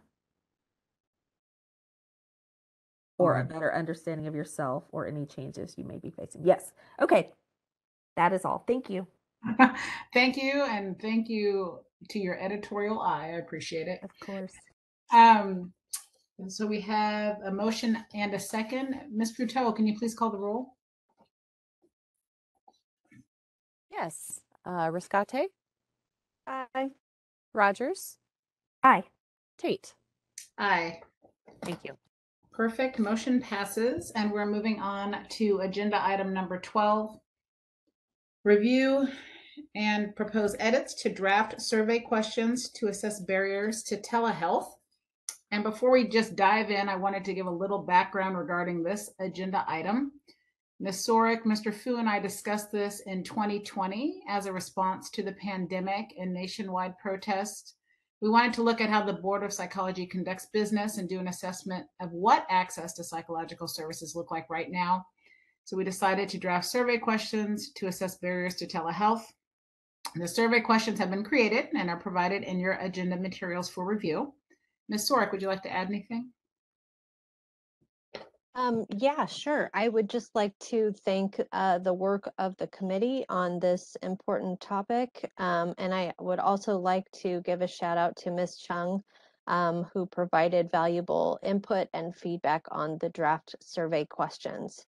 Um, and then included in the meeting materials are the, the draft questions. Once the committee has taken a look, we can present uh, an, uh, an approved draft to present at the board at the November meeting.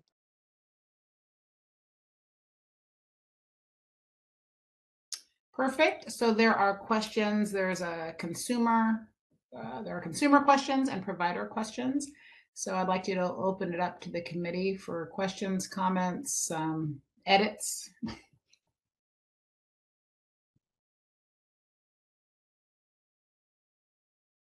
you like the questions?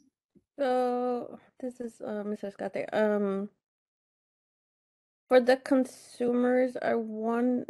I'm not sure where it would go, but I think it should be included that sometimes a barrier is that the therapist they're talking to is not technologically savvy either. um,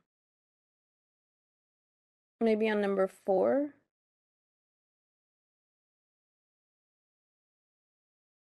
It would be an option, something worded like provider. Uh, provider's not savvy with technological. more like a delayed session due to provider not being, or something like that. Uh, question, this is Dr. Rodgers, just piggybacking on uh, what Ms. Rescate is saying. If we do have um, letter D for other, is there, can we add a line for people to write or type in what other is for them, which might include um, the therapist is not technologically savvy or um, whatever else it might be that's not captured in A through C? Is that, Hmm, is that a possibility? Just so we can get more uh, clear information from consumers about um, what these barriers might be? That's a good question, Ms. Sorrick. Don't, I don't You know the what? answer. I I was trying to think of a way that we could actually um, similarly put a Microsoft Word version of these questions up so we can make edits. Um, Mr. Glasspiegel, do you happen to have um, a copy of the Word version I am this? looking right now. Bear with me just a minute while I get there.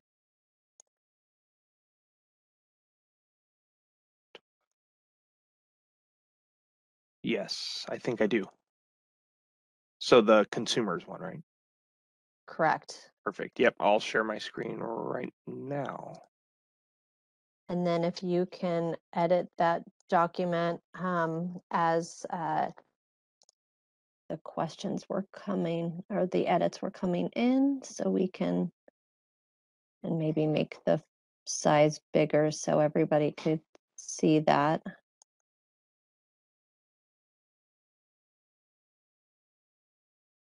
Okay.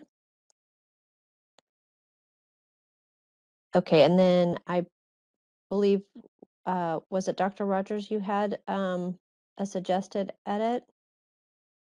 Oh, yes. Uh, for number four and perhaps number five, um, in letter D where it says other, is there a way to add a space for people to be able to respond about what other might be for them?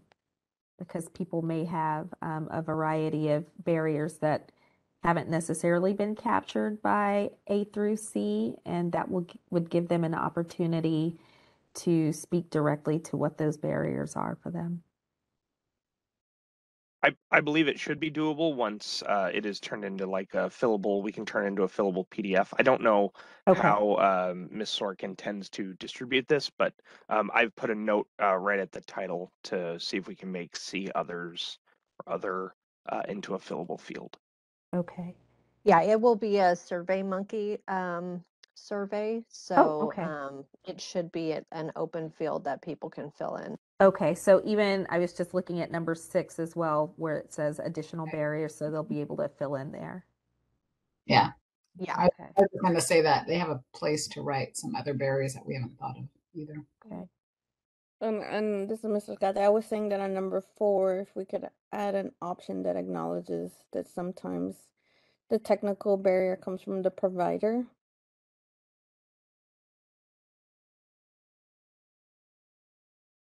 And and that would be other outside of the allowing the other field to have a fillable. So you'd, you'd want like a, a It- D to be a separate option. Yeah, select. separate option. And I think And that'll help uh because the next survey is for the providers themselves. So I, I, I just think making it stand out to really see what support is needed on both parts would stand And how would you how would you like that to read? Um,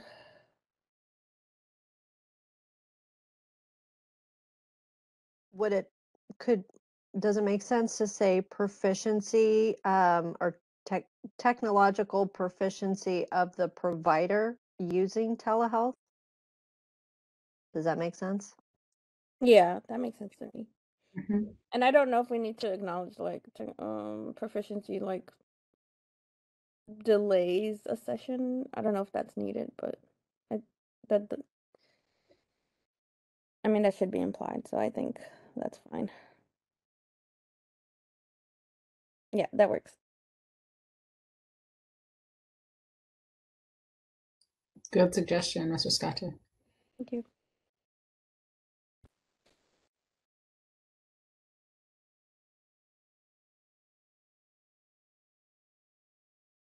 Any other comments for either survey? Hi, Dr. Tate, Dr. Rodgers. I um, it's kind of a question just to see if something like this fits here, but I'm just thinking about um, the questions that we had earlier about um, repeat test takers and its impact in the BIPOC community. Is there would it be helpful if we acknowledge um, psychosocial barriers to telehealth? And I don't know if that would be captured in number six where it says additional barriers, but I'm just wondering in terms of um, clients uh, wanting a diverse representation of providers and not having that, if that is a barrier to telehealth. I don't know, um, but throwing that out for consideration um, with the committee. Any thoughts about that? I yeah, I think that would be great to add because then it'll it just like really drives a point and shows that when telehealth is provided, maybe certain psychologists are not available via telehealth as well, and it'll just give us something else to like really look out for and research. Um, I think it should be its own question though. Like, Okay. Do you want it to be a, a, a BIPOC question or something, or worded differently? Uh, well, my thought was when I was um, considering posing the question, I was thinking, are there uh, systemic and or psychosocial barriers to tel- telehealth? Um, and I don't know if we need to have it as a forced choice, like A, B, or C, but maybe creating um, a fillable box for people to to just name name that um, if that is an impediment to them accessing care in that way. This may be a, an interesting data set if we have this be a yes or no question. Oh, so maybe yes, no, and if yes, then giving giving them an opportunity. Yes. Sure. Okay. Yeah, Okay. that sounds good. Yeah, I good. like that. so would it be something like, uh, let's say six, having trouble finding a relatable provider, or or Hmm. Or experiencing I'm trying to think of a general thing because uh, all I'm thinking is like experiencing microaggressions from provider or something like that. Mm-hmm.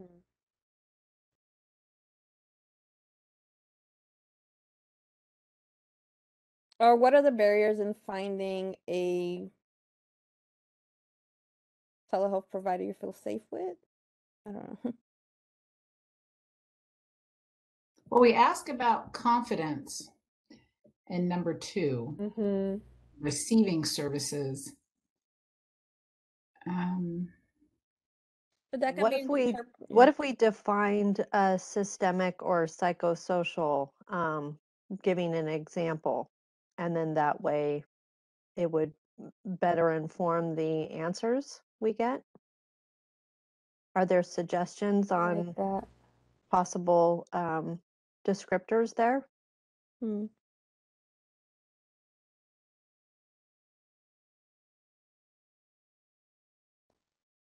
Um, Uh, um, maybe like such as uh, language barriers could be one. socioeconomic mm-hmm. challenges. Lack of diverse representation. And Dr. Tate, you said socioeconomic something, I'm sorry. Oh, did I barriers maybe? Oh, Or no? barriers. No, maybe I didn't. Wait, hold on. Socioeconomic. hmm. Say factors. Would someone read this though and think it's it's talking about the providers?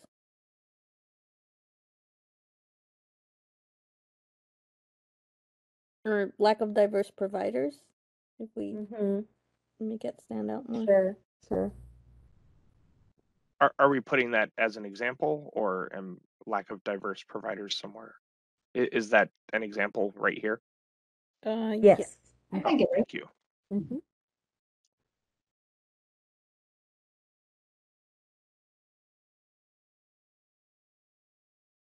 And if yes, we would need a other box to to explore what what uh what they feel that barrier is. Oh, instead of it being number seven. Oh, gotcha. Okay. Um, yeah, because I think that might. Well, no, it could be number seven, but it's somewhere it would have to say if yes, move on to number seven or something like that. Or if you answered yes to number six. Mm-hmm. Yeah, that works too. And I'm wondering if this would be a place, it just feels like a place, but I don't have a specific example where um, specific disabilities might Mm-hmm. want to be in this list. Um, Yes, that's a big one. Yeah.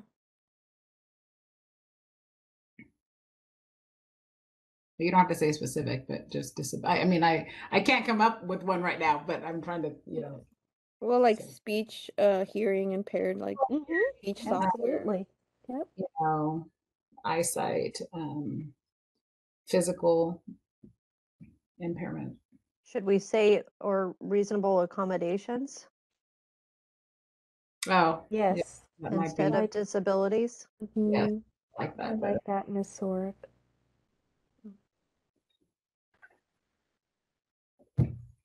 Thank you for that.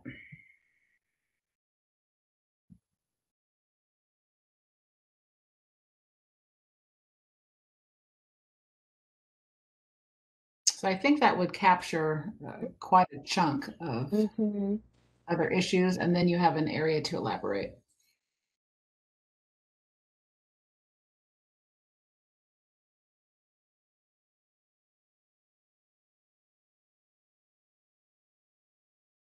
And I do like that we're still um, not asking too many questions, so our Mhm. likelihood of participation will still be on the higher side. So, Absolutely. Once you have um, so uh, Dr. Tate, would you like to open um, this survey out for public comment and then we can move on to the next one? Or Oh, that's a good idea. Let's do that. Mr. Moderator, can you open up public comment for this specific survey? We are now opening for public comment on this specific survey. If you would like to make a comment, please type the word comment into the Q&A box in the lower right-hand corner of the screen and send that comment to all participants. Dial-in users, please dial star three to raise your hand, and we will call on people in the order we have requests. And we have a request from Araceli, um, who has said a few different things. We're going to give you an opportunity to unmute Hi, thank you for allowing me to comment. Um, for question number six, and I see that um, one of these is, uh, okay, are systemic or psychosocial barriers to telehealth um, uh, oh, I, was it, was it changed? I, I know that it said, um, well, what I was thinking is, what type of barriers have you faced in accessing services via telehealth and making a, a multiple choice question? I'm reading my comment here, my apologies. Um, so I've designed surveys in the community and it, and clarification question, is this survey going out to consumers? Or who's the audience for this survey? this uh, would be for consumers, yes. Consumers, okay. So consumers um, may not know, and so it depends on how you're disseminating the survey, who has access to the survey, is the survey, how will the survey be disseminated? Are you going out into the communities? Are you going to, um, well, one who has access to this, right? And so I know from my community work that um, individuals may not understand what systemic and psychosocial barriers are. I know because I give presentations on this is what this means. And so when you're asking a question, perhaps uh, wording it like, what type of barriers have you faced? Uh, sometimes we call these, you know, systemic and psychosocial barriers. For example, please select all that apply. So you make it a multiple choice. Um, and I know that here I gave example access to technology, which is already a question in uh, uh, number four. Um, so perhaps since that's already addressed there, then that may not be needed.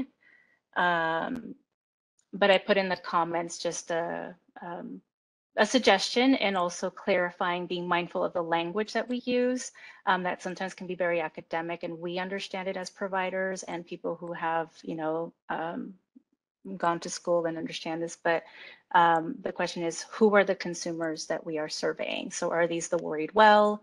Are these um, people who have access to resources? Or are we going into the communities um, that are underserved um, which is i think ideally what we would want to focus on.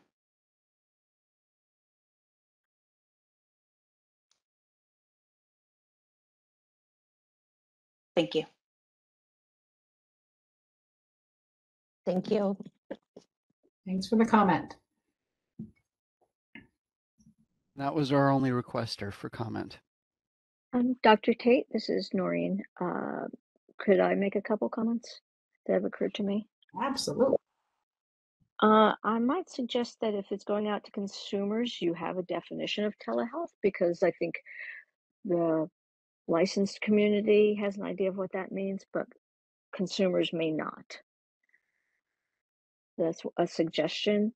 Another suggestion is where, uh, in res- response to question number one for consumers, where they are uh, asked if they're either a client of services or an advocate for services, you might include prospective client because there may be people who haven't who who might like to seek services but can't because of some of the barriers or aren't sure because of perceived barriers so that's a suggestion um,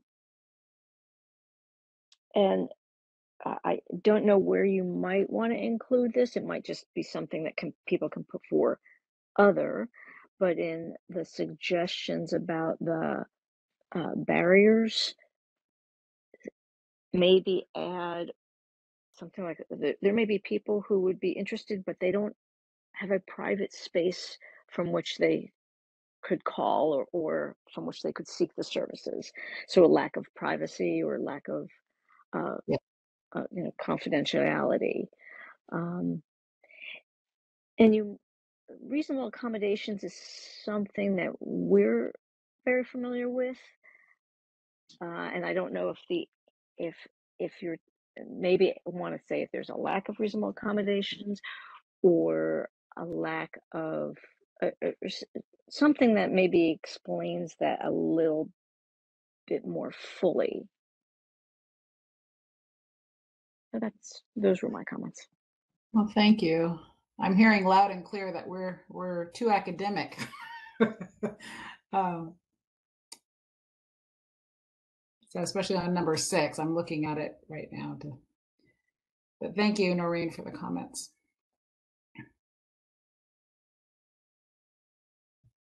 Uh, Dr. Tate, I have a question, um, just following up with um, Ms. Mark's comments and uh, Dr. Araceli.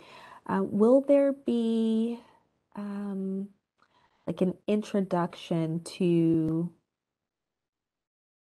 this survey? So, um, you know, we're looking, you know, we're trying to assess what these barriers are. Obviously, maybe not in that academic language, but maybe we could put some of that information in the introduction, just sort of preparing um, participants for what they might um, what they might experience in the questions that are being asked, and maybe that's where we could put some of the um, more where we could put more layman's terms Mhm. um, so that when they get to these questions, they'll be able to say, okay, well, when we say systemic or psychosocial, we really mean this, sort of as uh, Dr. Araceli was saying.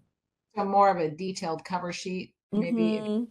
with information pertaining to the questions in case they need more definitions or details. Right, because I'm I'm hearing what Miss Sorrick is saying about making the questionnaire or the survey short enough so that people will um, actually take the time to complete it, but also being thorough enough um, and clear enough in what we're asking. So yes, having some sort of information on the front end, um, just so we're more clear because I, I definitely want to make sure that we're asking the right kinds of questions in ways that consumers will be able to understand. Right. Oh, absolutely.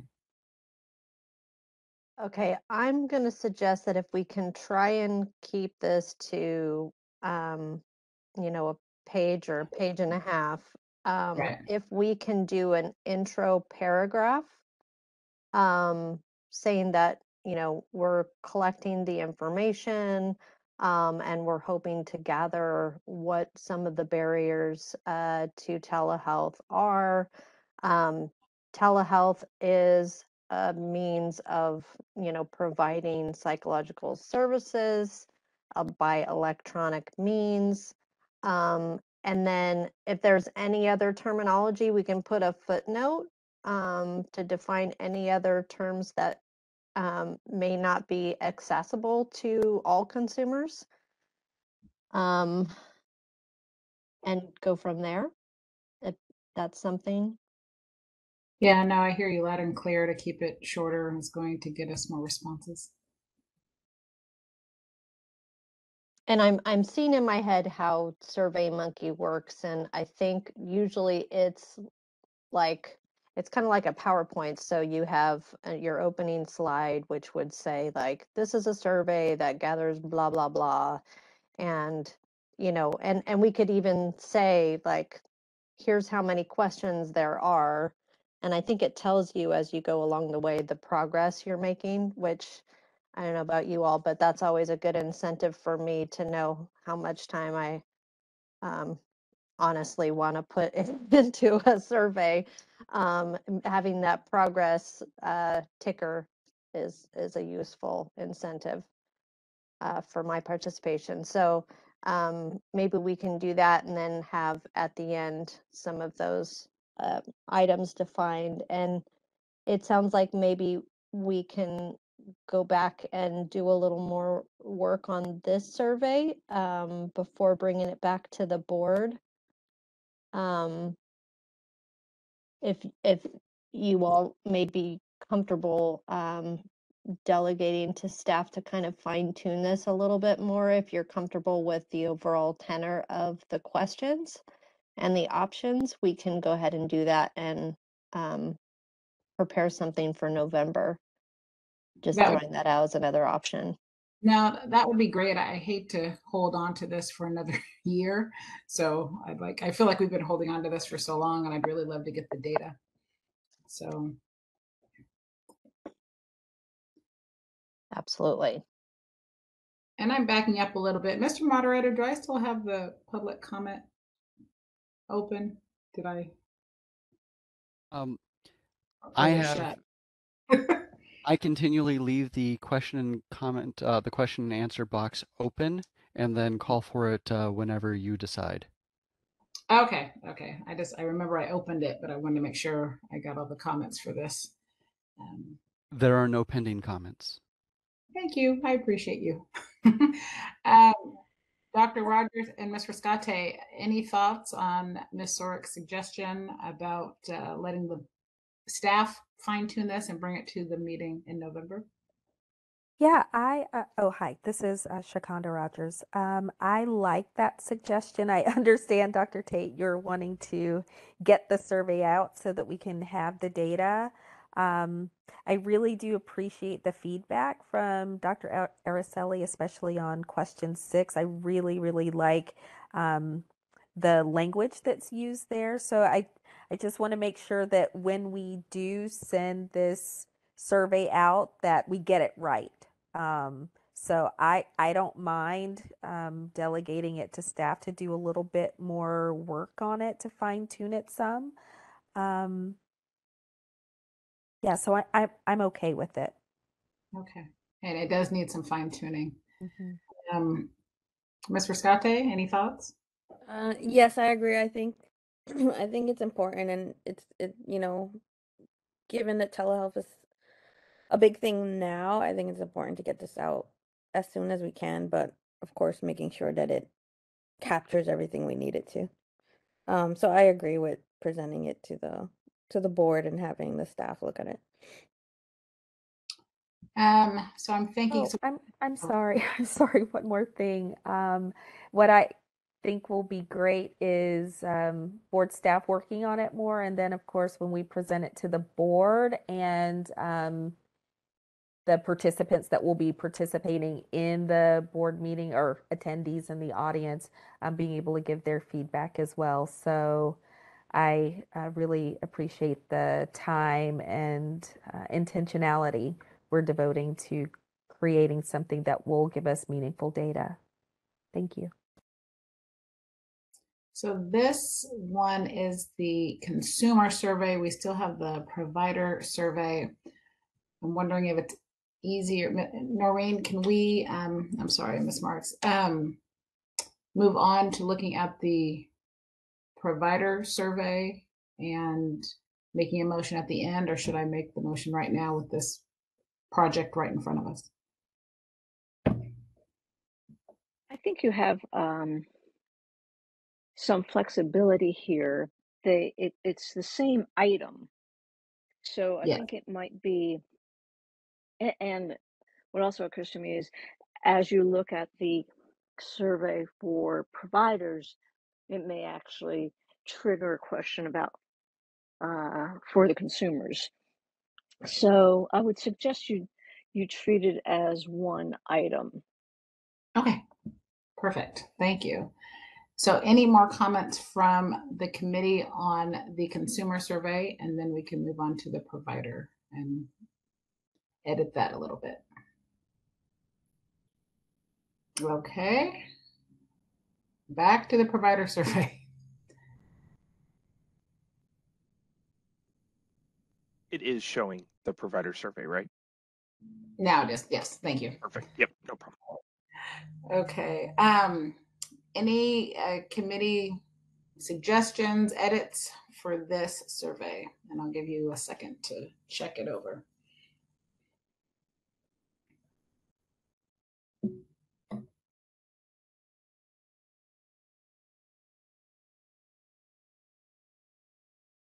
Well, hi, this is Ms. Escate. For number three, option C, appropriateness of telehealth for certain client populations.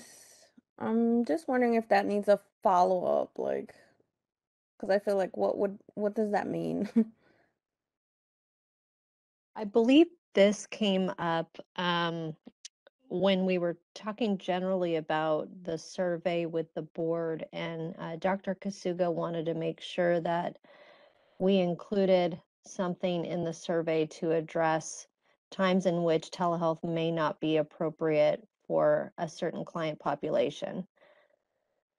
Um, in particular behavior analytical kind of work, um, uh, assessments that may need to be done in person. Um, so I, I believe that's where that item came from. And we can always uh, retool the language there.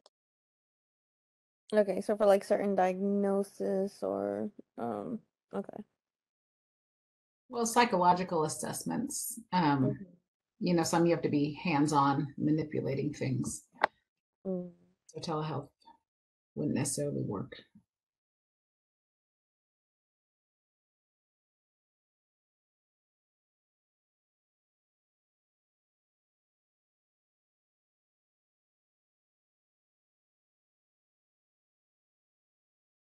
So maybe just for that one, you can put, you know, for example, certain psychological assessments or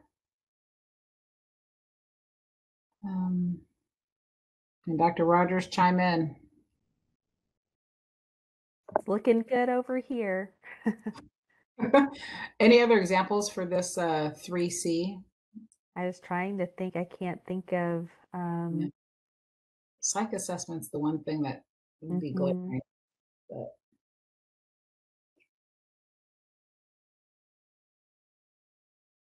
okay, I guess we'll keep thinking.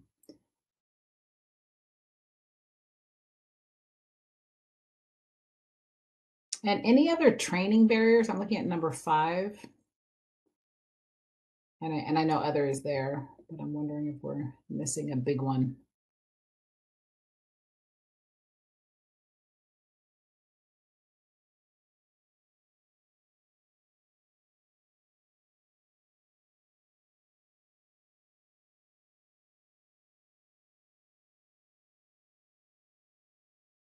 Mr. Glasspiegel, on five B, can you change two to of?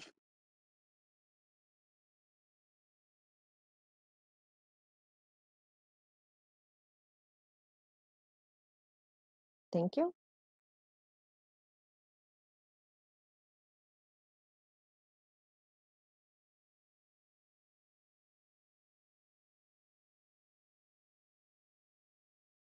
Any other suggestions, Dr. Rodgers, Ms. Riscate?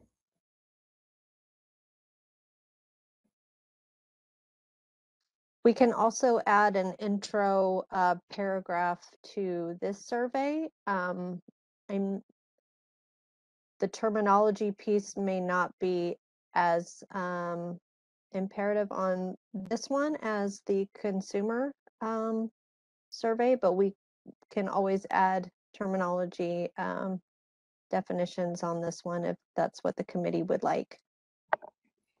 Yeah, this one is using all terms that a provider would know and use and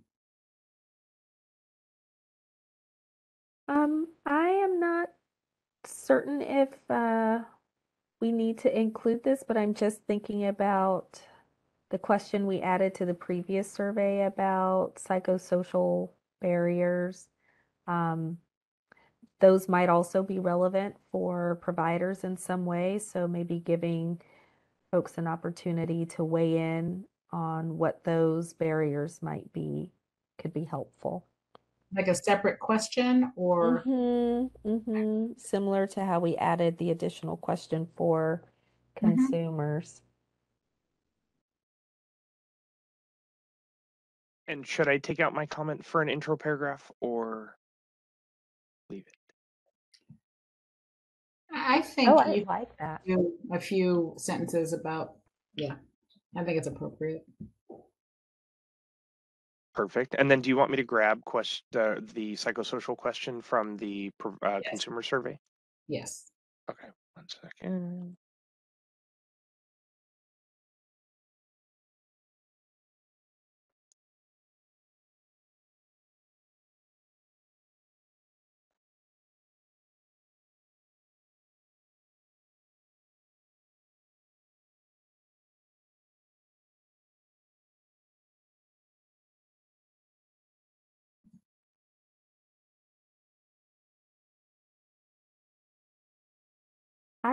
Modify number six just a little bit. And again, I guess that's um, where board staff can um, play around with this and modify it some. Um, I'm thinking about where it says lack of diverse providers. Right. Um,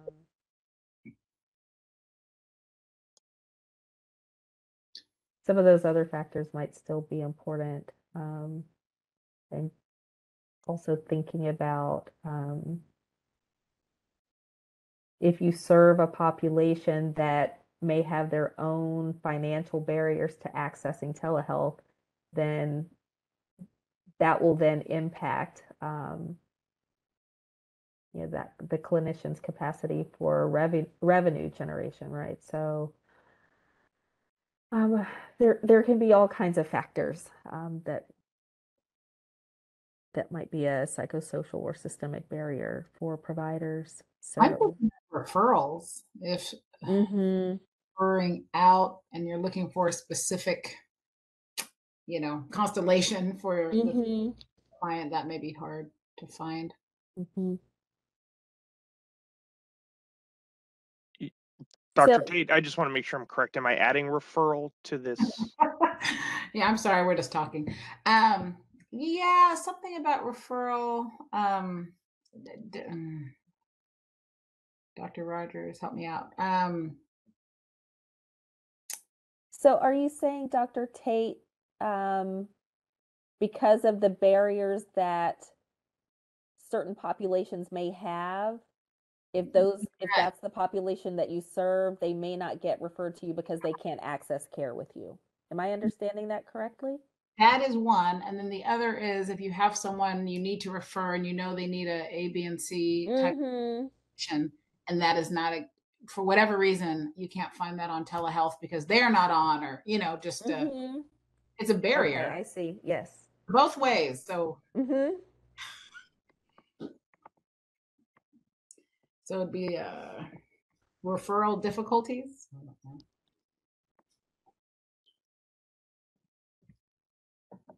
And I'm totally open to wordsmithing. Well, I'm I'm just thinking about um, the lack of providers in general. Um, I I know my And- practice is full, my colleagues' practices are full, so it's it's really difficult for people to just be able to access care Right. um, these days because um, Yeah, and most mental everyone is at capacity. Right, and I think most mental health providers, if they can, are stretching themselves a little thin, Mm-hmm. Mm-hmm. and um, that's a problem. Sure. So I don't know if that Would would, uh, lack of access to providers? yes. Mm-hmm. hmm Thank you, Miss Sorrick. You're welcome. I would get it. So instead of referral difficulties or adding it in as an additional? I think instead of, is that right? Sure, that would work. And it was lack of providers, is that correct? Access to care, lack of providers, Mm-hmm. Yeah. or lack of available providers. Mm-hmm. Yeah, because I think there's, I mean, there's numbers which we can see through data that our number of licensees has remained relatively static um, through time. But I think availability is definitely an issue because there may be enough, but not necessarily that they're accepting new clients. Mm-hmm. And if the number has remained static, but the need has grown based on the stressors of these last few years, um, Right. that certainly impacts care.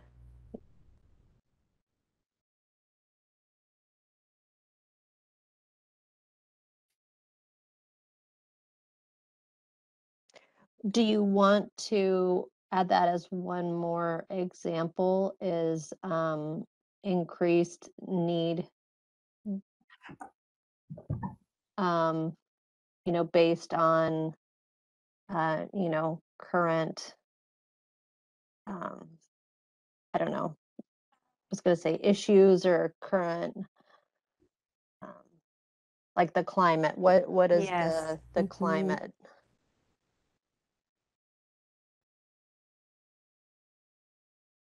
Does that make sense? I'm sure there's another way to say it, Yes. but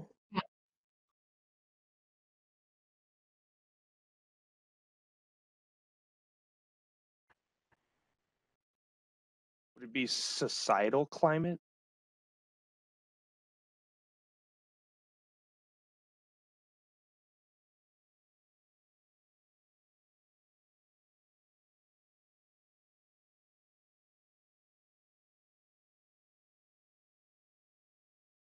I'm I'm thinking about um, something related to supply and demand, right? The supply has remained static, but the demand has increased. I don't know if that feels too um, academic or cognitive.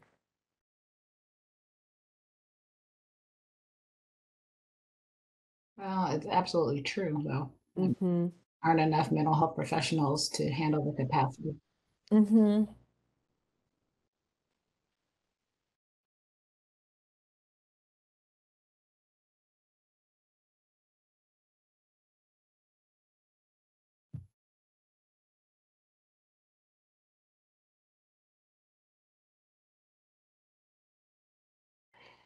And we're also at question eight, and I don't want it to get too cumbersome. Yes. Um, I don't, I don't know if this goes in question six or um, if there is a need for an additional question, but just thinking about the barriers.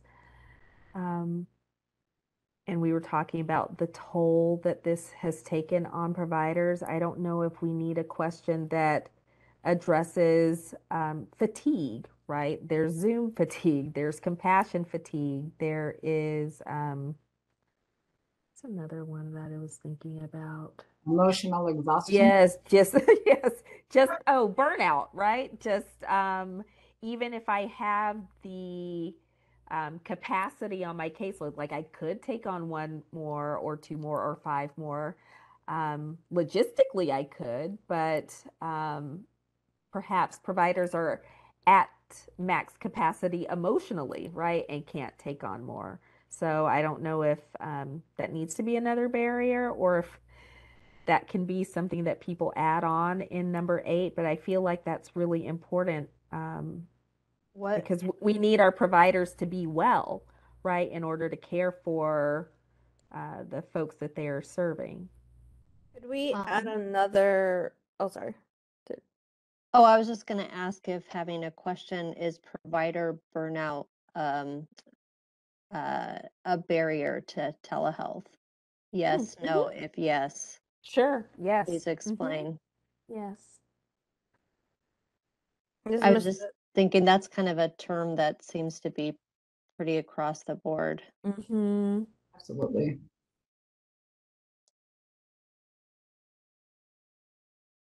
Okay, now you guys are getting making it longer now. Listen, I'm done. I'm not going to say anything else.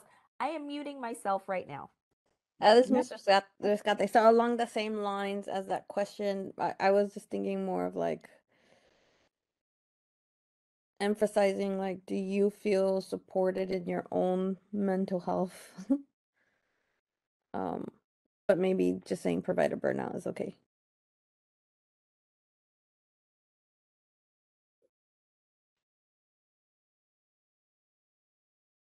I like the support question about mental health, though. I just don't want it to get too long where no one wants to answer any of the questions.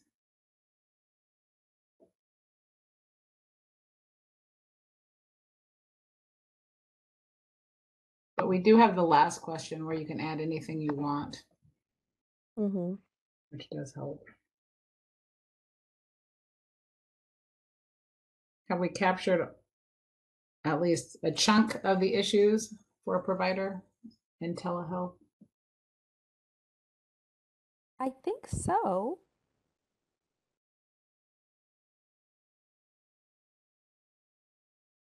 And Ms. Sorrick, is there enough there for you and the staff to?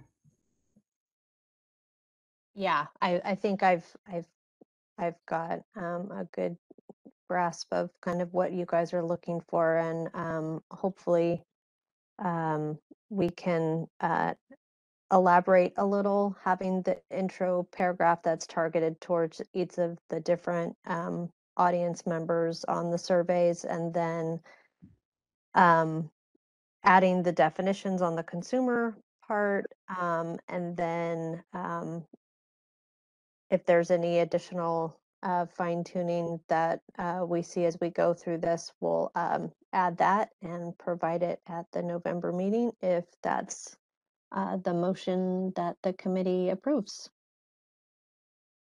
That sounds And maybe good. just go out to public comment on uh, this survey and then uh, the committee can talk about next step. I like that idea. Um, Mr. Moderator, can you please open up public comment? Absolutely.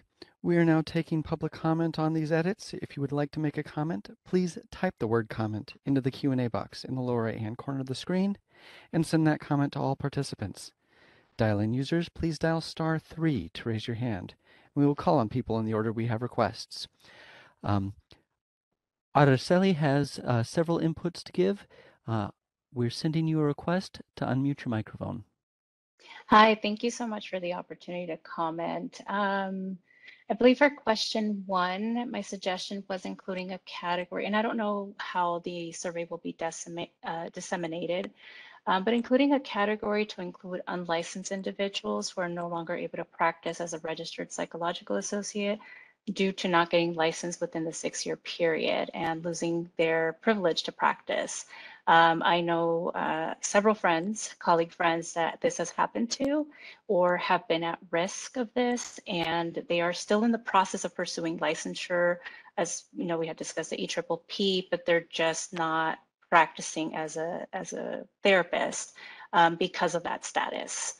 Um, but they are still, I think it's a population that we should, you know, still examine.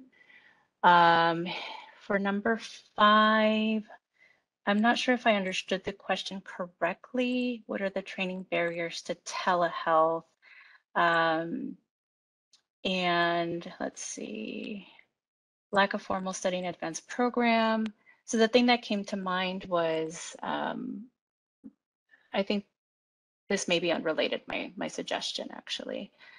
Um, and then for the question about burnout and, and in the field, you know, it something about that speaks to the burnout, um, the moral injury, the compassion fatigue. And I think the moral injury, I think that's one of the things that I faced early in um, the work setting that I'm in. Uh, I believe that somebody mentioned that the supply is static, but the demand has increased. And that was the case in, in terms of wait lists and saying, sure, we can, you know, we can get you in for an assessment in three, four weeks. And then your admission would be on this blah, blah, blah. And so that was a moral injury for myself um, which was contributing to, you know, burning out and the compassion fatigue, and also to speak to the expectations and requirements for productivity in a non-private practice setting. So hospital settings, community mental health centers, um, a lot of people are fleeing to private practice cash pay because one of the insurance reimbursements or very or re, uh, reimbursement and folks unable to pay um, full fee. And so we're losing a lot of clinicians um, uh, that are moving from these centers to private practice cash pay. So that could also be um, a question to be added. Thank you.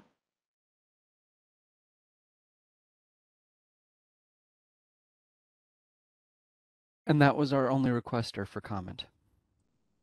Perfect, thank you. Any response to the comments that we just had to the committee? I think they're all spot on. Thank you so much, Dr. Lopez, for your feedback and your comments. They're very helpful. Mr. Glasspiegel, did you, were you able to uh, document those comments so we can include I- them? I was not, as I wasn't sure if the committee was going to be accepting any. Okay.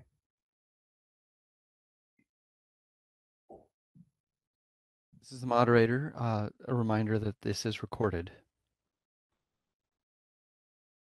Thank you. I appreciate that. um, Ms. Riscate, do you feel like the comments should be included? I just want to make sure that we give direction to the staff.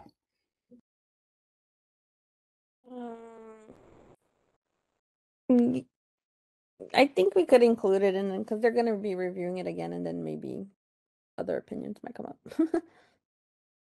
Absolutely. Um, I, I agree. It's awesome. Any other comments? Dr. Rodgers, Mr. Riscate? No additional comment. Well, I was about to say no additional comments. I lied. Um, I I appreciate the robust discussion. This has been um, incredibly helpful just in thinking about uh, the practice of psychology, um, especially now that we are in uh, this territory of telehealth and telemedicine, um, and just getting clarity on uh, what's working and what uh, impediments there are on on both sides. So I'm grateful for the discussion. Thank you. Perfect. And I appreciate the discussion and I appreciate the comments. So um, these surveys are going to be very all encompassing and that's what we need because we really would like this data. Um, if Dr. so, Tate, real yes. quick, um, just wanted to make sure we have direction. Um, because the public comment was substantive and um, my kind of uh, takeaway from today is more fine tuning. Um, I just want to make sure I'm capturing what um, you all would like to add to this provider survey based on the public comment. So if we can, um, if we can get that Most- before Dr. Rodgers, you're my wordsmith. Can you uh, sum it up? Can we just get Dr. Lopez? No. she, I think she articulated all of it beautifully, and I, I would hate to butcher her comments, but I think they're incredibly useful. Mr. Um, Curator. sorry, Dr. Lopez, we're bringing you in. There were several, so.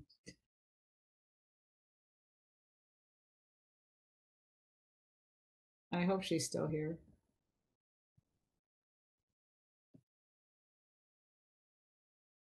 Her hand has been raised. Um, Mr. Bowie, can you uh, allow her to unmute herself? Hi, thank you so much. This is my first time commenting, so I appreciate everybody's willingness Yeah, to well, we're listen. happy- I've never done this before.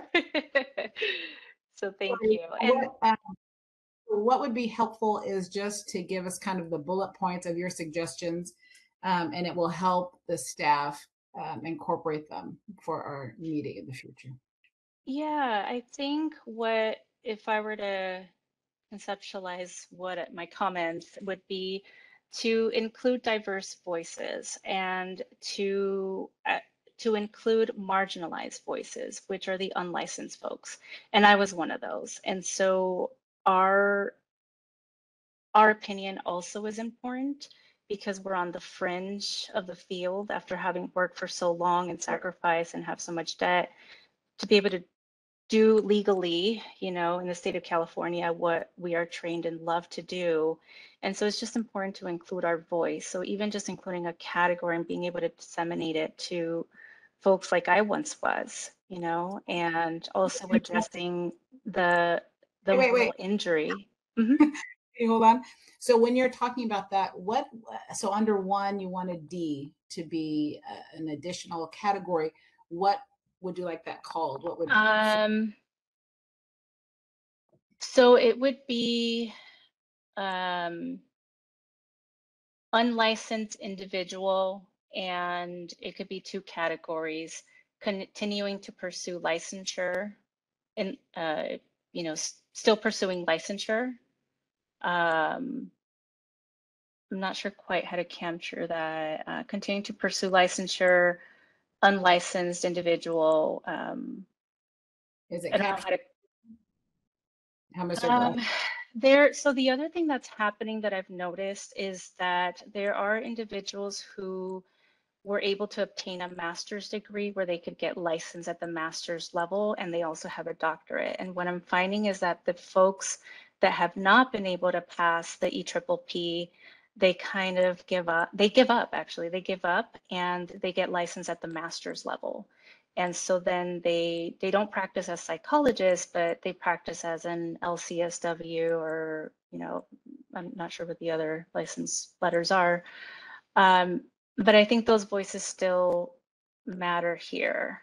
And so just a category that includes, you know, unlicensed individual who is no longer able to practice because they exceeded the six year mark um, but they're still continuing to pursue licensure.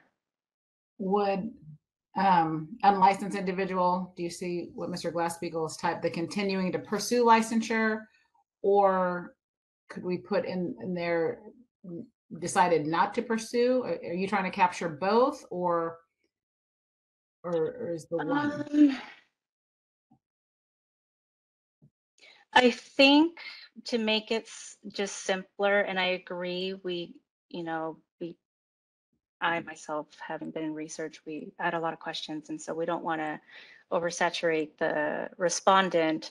So I think just unlicensed individual, um, continuing to pursue licensure, comma, um, um, decided not to pursue or, uh, I'm not sure.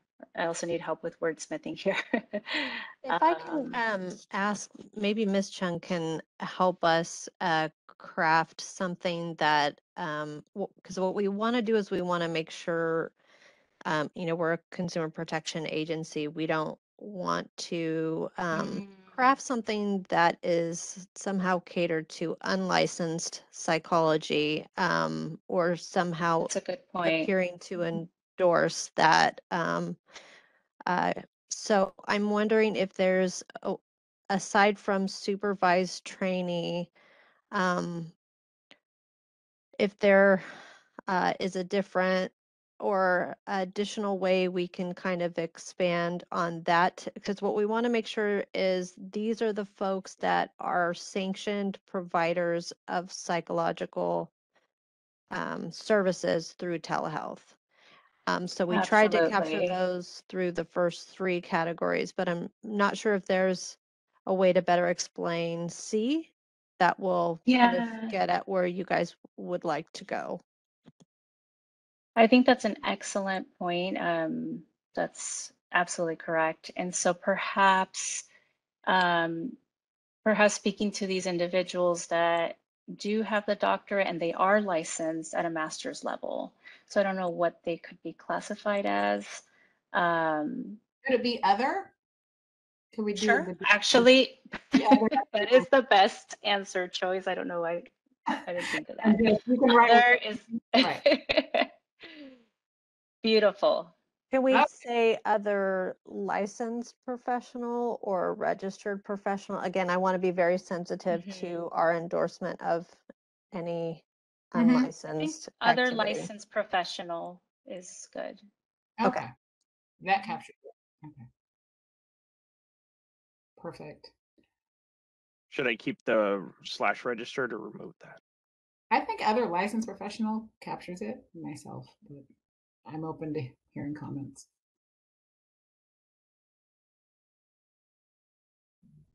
Does that Thank look you good? again for taking my opinion into consideration. I am Um, grateful. Yeah. we appreciate the the input. Um, and let me see. So I want to make sure that captures, and I apologize for intervening on uh, the terminology. For one, um, I want to make sure um, Dr. Lopez is able to let us know the other kind of bullets. Um, and if the first bullet was kind of what we were talking about in one. I'm sorry, could you clarify the question? She's just Um, making sure that um, the clarification for number one is captured in one D for you.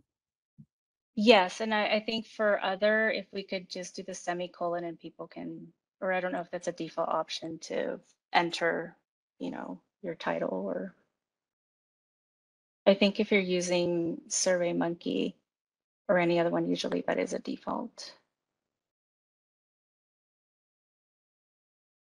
Perfect. And any other bullets, Dr. Lopez?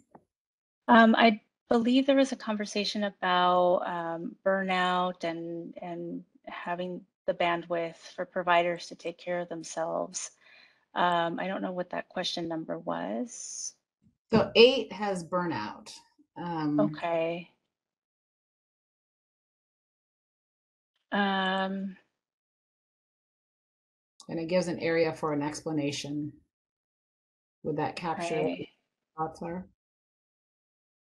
Um, it just depends on what you're looking for.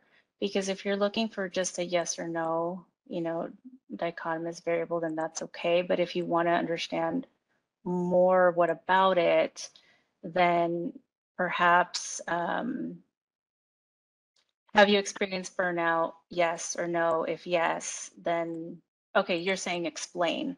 Um, but it could be also categories. But I think explain would capture that as well. Yeah, just I think for the purpose of this survey, um, explain is helpful because right now when you talk to providers, the burnout list is so extensive. Right, right. I don't think we really would be able to capture everybody, but this gives an opportunity um, for us to pull out who's experiencing it and kind of the why regarding You- telehealth. Right. You know what I just thought about, and I don't know if this is captured elsewhere, but um, severity of um, like imminent risk. I know that um, some, for example, intensive outpatient programs initially offer telehealth, and then they move to in-person due to risk factors, safety risk factors. And so I know that that has been a barrier for some consumers. So perhaps um, that could be a question: Is um, safety risk a barrier to providing telehealth services?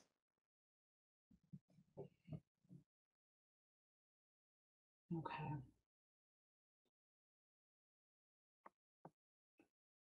I don't know if we have room or space. Now we're at 10.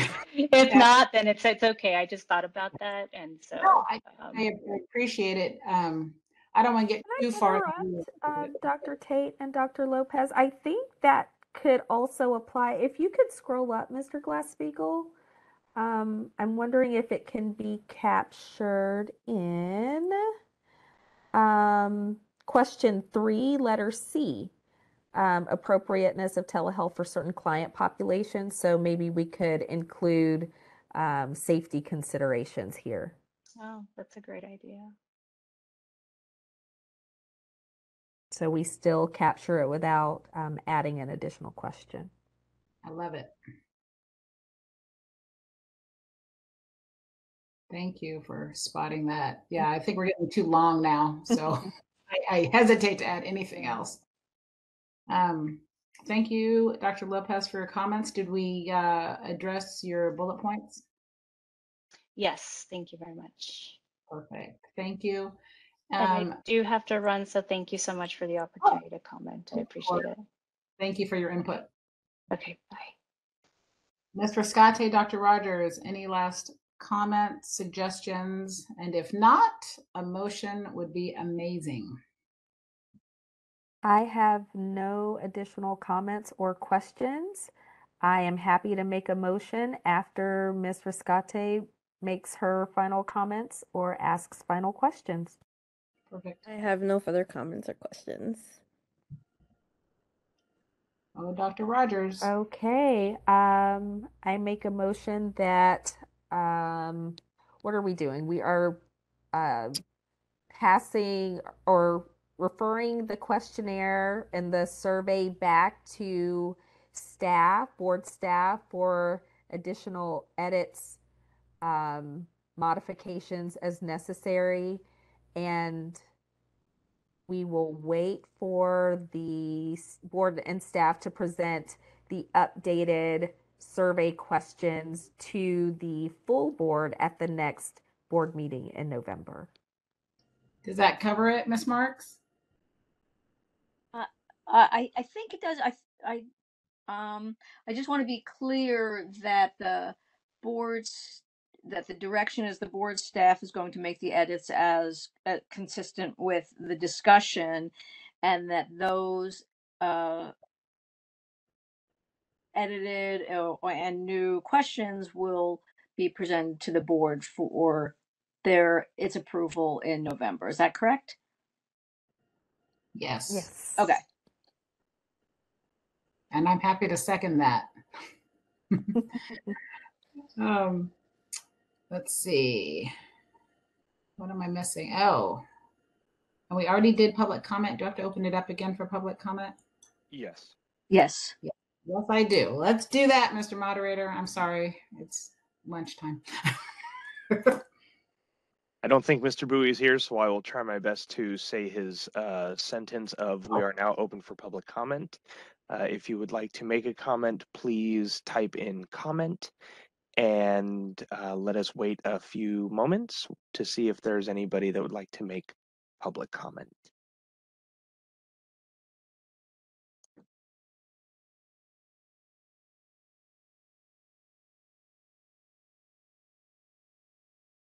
I have been watching the attendees list and I don't see any hands come up and I have not seen any comments requesting public comment. Uh, let me know if you'd like me to return and close public comment and return to the presentation. Yes, that would be great. And you did a great job. Thank you. Um, so we have a motion and a second. Ms. Pruitt, can you please call the roll? Riscate, Aye. Rodgers, Aye. Tate. Aye. Thank you. Perfect. Motion passes and we're moving on to agenda item number 13, recommendations for agenda items for future committee meetings. The committee may not discuss or take action on any raised during this public comment section, except to decide whether to place the matter on the agenda of a future meeting. Can you please open up public comment at this time? And I believe Mr. Bowie is back, but uh, uh, Absolutely. Yeah, go, go ahead for your uh, statement. We are open for public comment. If you would like to make a comment, please type the word comment into the Q&A box in the lower right-hand corner of the screen and send that comment to all participants. Dial-in users, please dial star three to raise your hand, and we will call on people in the order we have requests. We're going to take just a few seconds now to see if we have a request for public comment.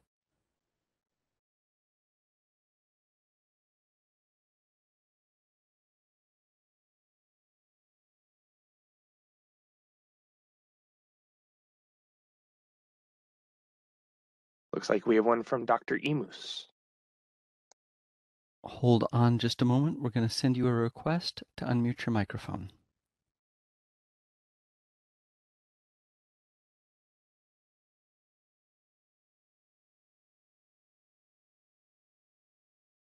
Can you hear me? Yes, go ahead, please. Yes. I just wanted to thank all of you for the tremendous conversation we had today.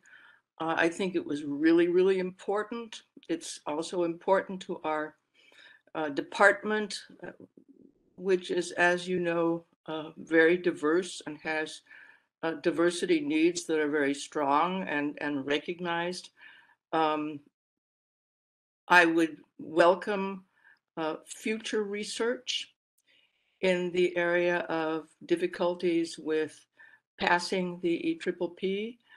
And I, again, uh, really appreciate uh, the board taking the time and the effort to um, allow this conversation, stimulate this conversation. Um, it was uh, a very important meeting, I think, and I appreciate being able to be here today. Thank you.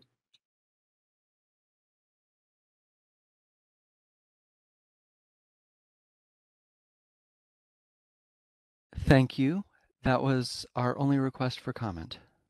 Perfect. Thank you. And thank you, Dr. Emus, for attending and giving us the great feedback. We appreciate you. Um, back to agenda item number 13. Any committee members have suggestions for future meetings? Dr. Rodgers, Mr. Scate?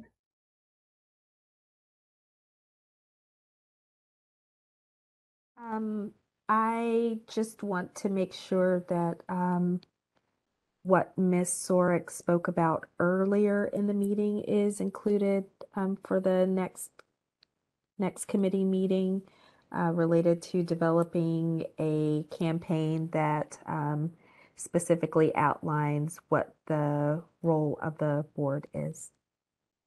That's all.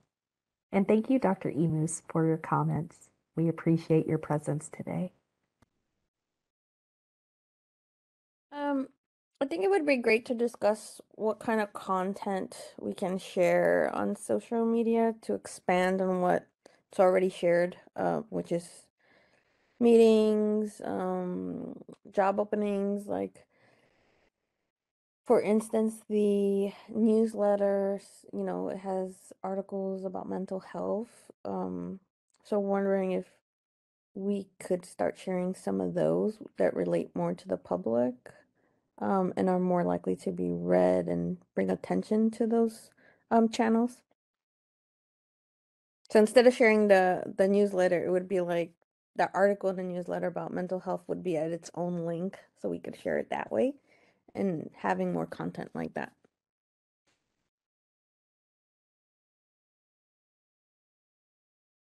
That's interesting. Ms. Are you understanding the Ms. Riscate's comment? Yeah, I'm not sure how we would do that because it is, um, it, it's in HTML, the link that takes you to the newsletter on our webpage, um, to make it ADA accessible. Um, and we usually put in, you know, read about this, that, or the other, um, to try and kind of promote what's in the newsletter. Um, and then if you go to a printer-friendly version, it's a PDF version of uh, the newsletter.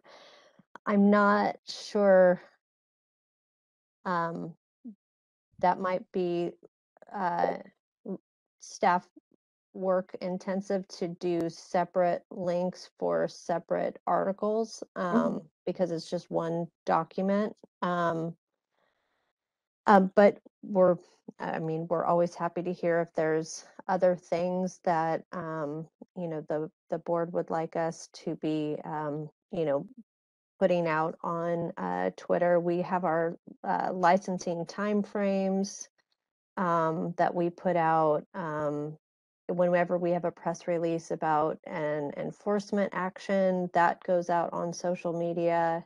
Mm-hmm. Um, and and we work with our partners at DCA as well on on promoting our press releases. Um, and then uh, job announcements, as you said, newsletters, board meetings, committee meetings, um, uh, regulatory changes. So any kind of uh, activity of the board, we uh, put it on our website, and then we also promote it on uh, social media as well.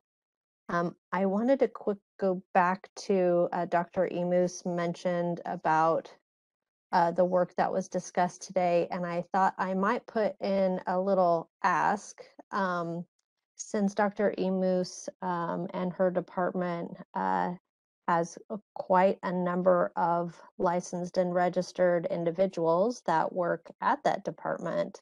Um, once the survey is um, finalized and ready to go, I was going to ask um, if Dr. Emus would assist us in getting the provider um, survey out to um, her staff, if that's something that she could help with, because that's a that's a large number, um, and as you all know, through data, the more uh, data you have available, the more reliable uh, your survey is. So I wanted to uh, put that ask out there to Dr. Emus.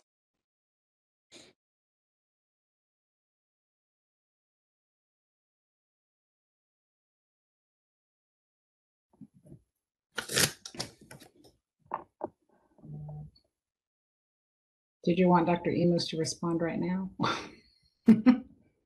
Ms. Sorrick? If she's available to respond, that I'm- would be great. Hi. Okay. Yes, uh, I think that's a great idea. I know that your um, emails go out to a lot of people uh, who work for the department. It might not reach everybody. What uh, we might want to do is have uh, our training coordinators at the institutions disseminate the materials so that we have more people. Maybe we're reaching more people. I do have to run that by my supervisor though. Could you send me an email with that request and I would be happy to run it up the chain? Happy to do that. Thank you. You, you do have my email. I do. Yes, okay, great. Well, please contact me and um, I'll just make sure that we get permission so that we get that to as many uh, psychologists as possible. Perfect. Thank you. You're Any- welcome. Any other suggestions from committee members? I don't see any hands. Um, Ms. Marks, do I need an official motion to adjourn for the day? This is the moderator. Oh, go ahead. Sorry. Oh, go ahead, Mr. Bowie. Um, I believe the answer is you do not. No. Okay. Was that what you were going to say, Ms. Marks? Uh, yes, that, that is correct. Perfect. Well, thank you to everyone, stakeholders, staff, committee members, um, for joining all of us today. Um, it was very fruitful conversation, and I think we got a lot done. So I hope everyone has a great weekend. Thanks again. Before before Oh. we all disconnect, um, GK is requesting for a comment. Has a request to comment. Okay. That's okay. Let's do it. All right. Hold on, GK. We're gonna allow you to unmute your microphone.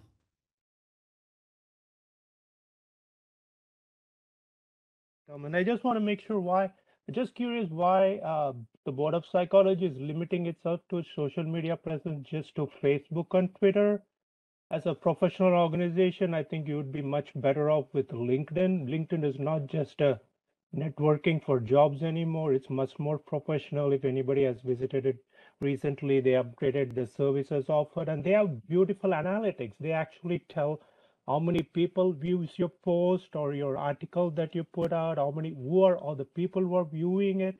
So you get a much better analytics. And as a professional organization, I will strongly encourage the Board of Psychology to look into LinkedIn as its other option for social media connection because Facebook, as you know, just scrolling about people really don't give that much importance compared to LinkedIn, where it's real professionals looking at what we are posting and you get a much better feedback than what you get back from Facebook. I just want to put that out so you can look into it. Thank you. Thank you for the comment. We appreciate it. Um, and thanks for listening today. So again, our meeting is over today. I'm grateful for all the comments and I hope that everyone has a great weekend and um, hopefully see everyone in November in person in Sacramento. Thank you.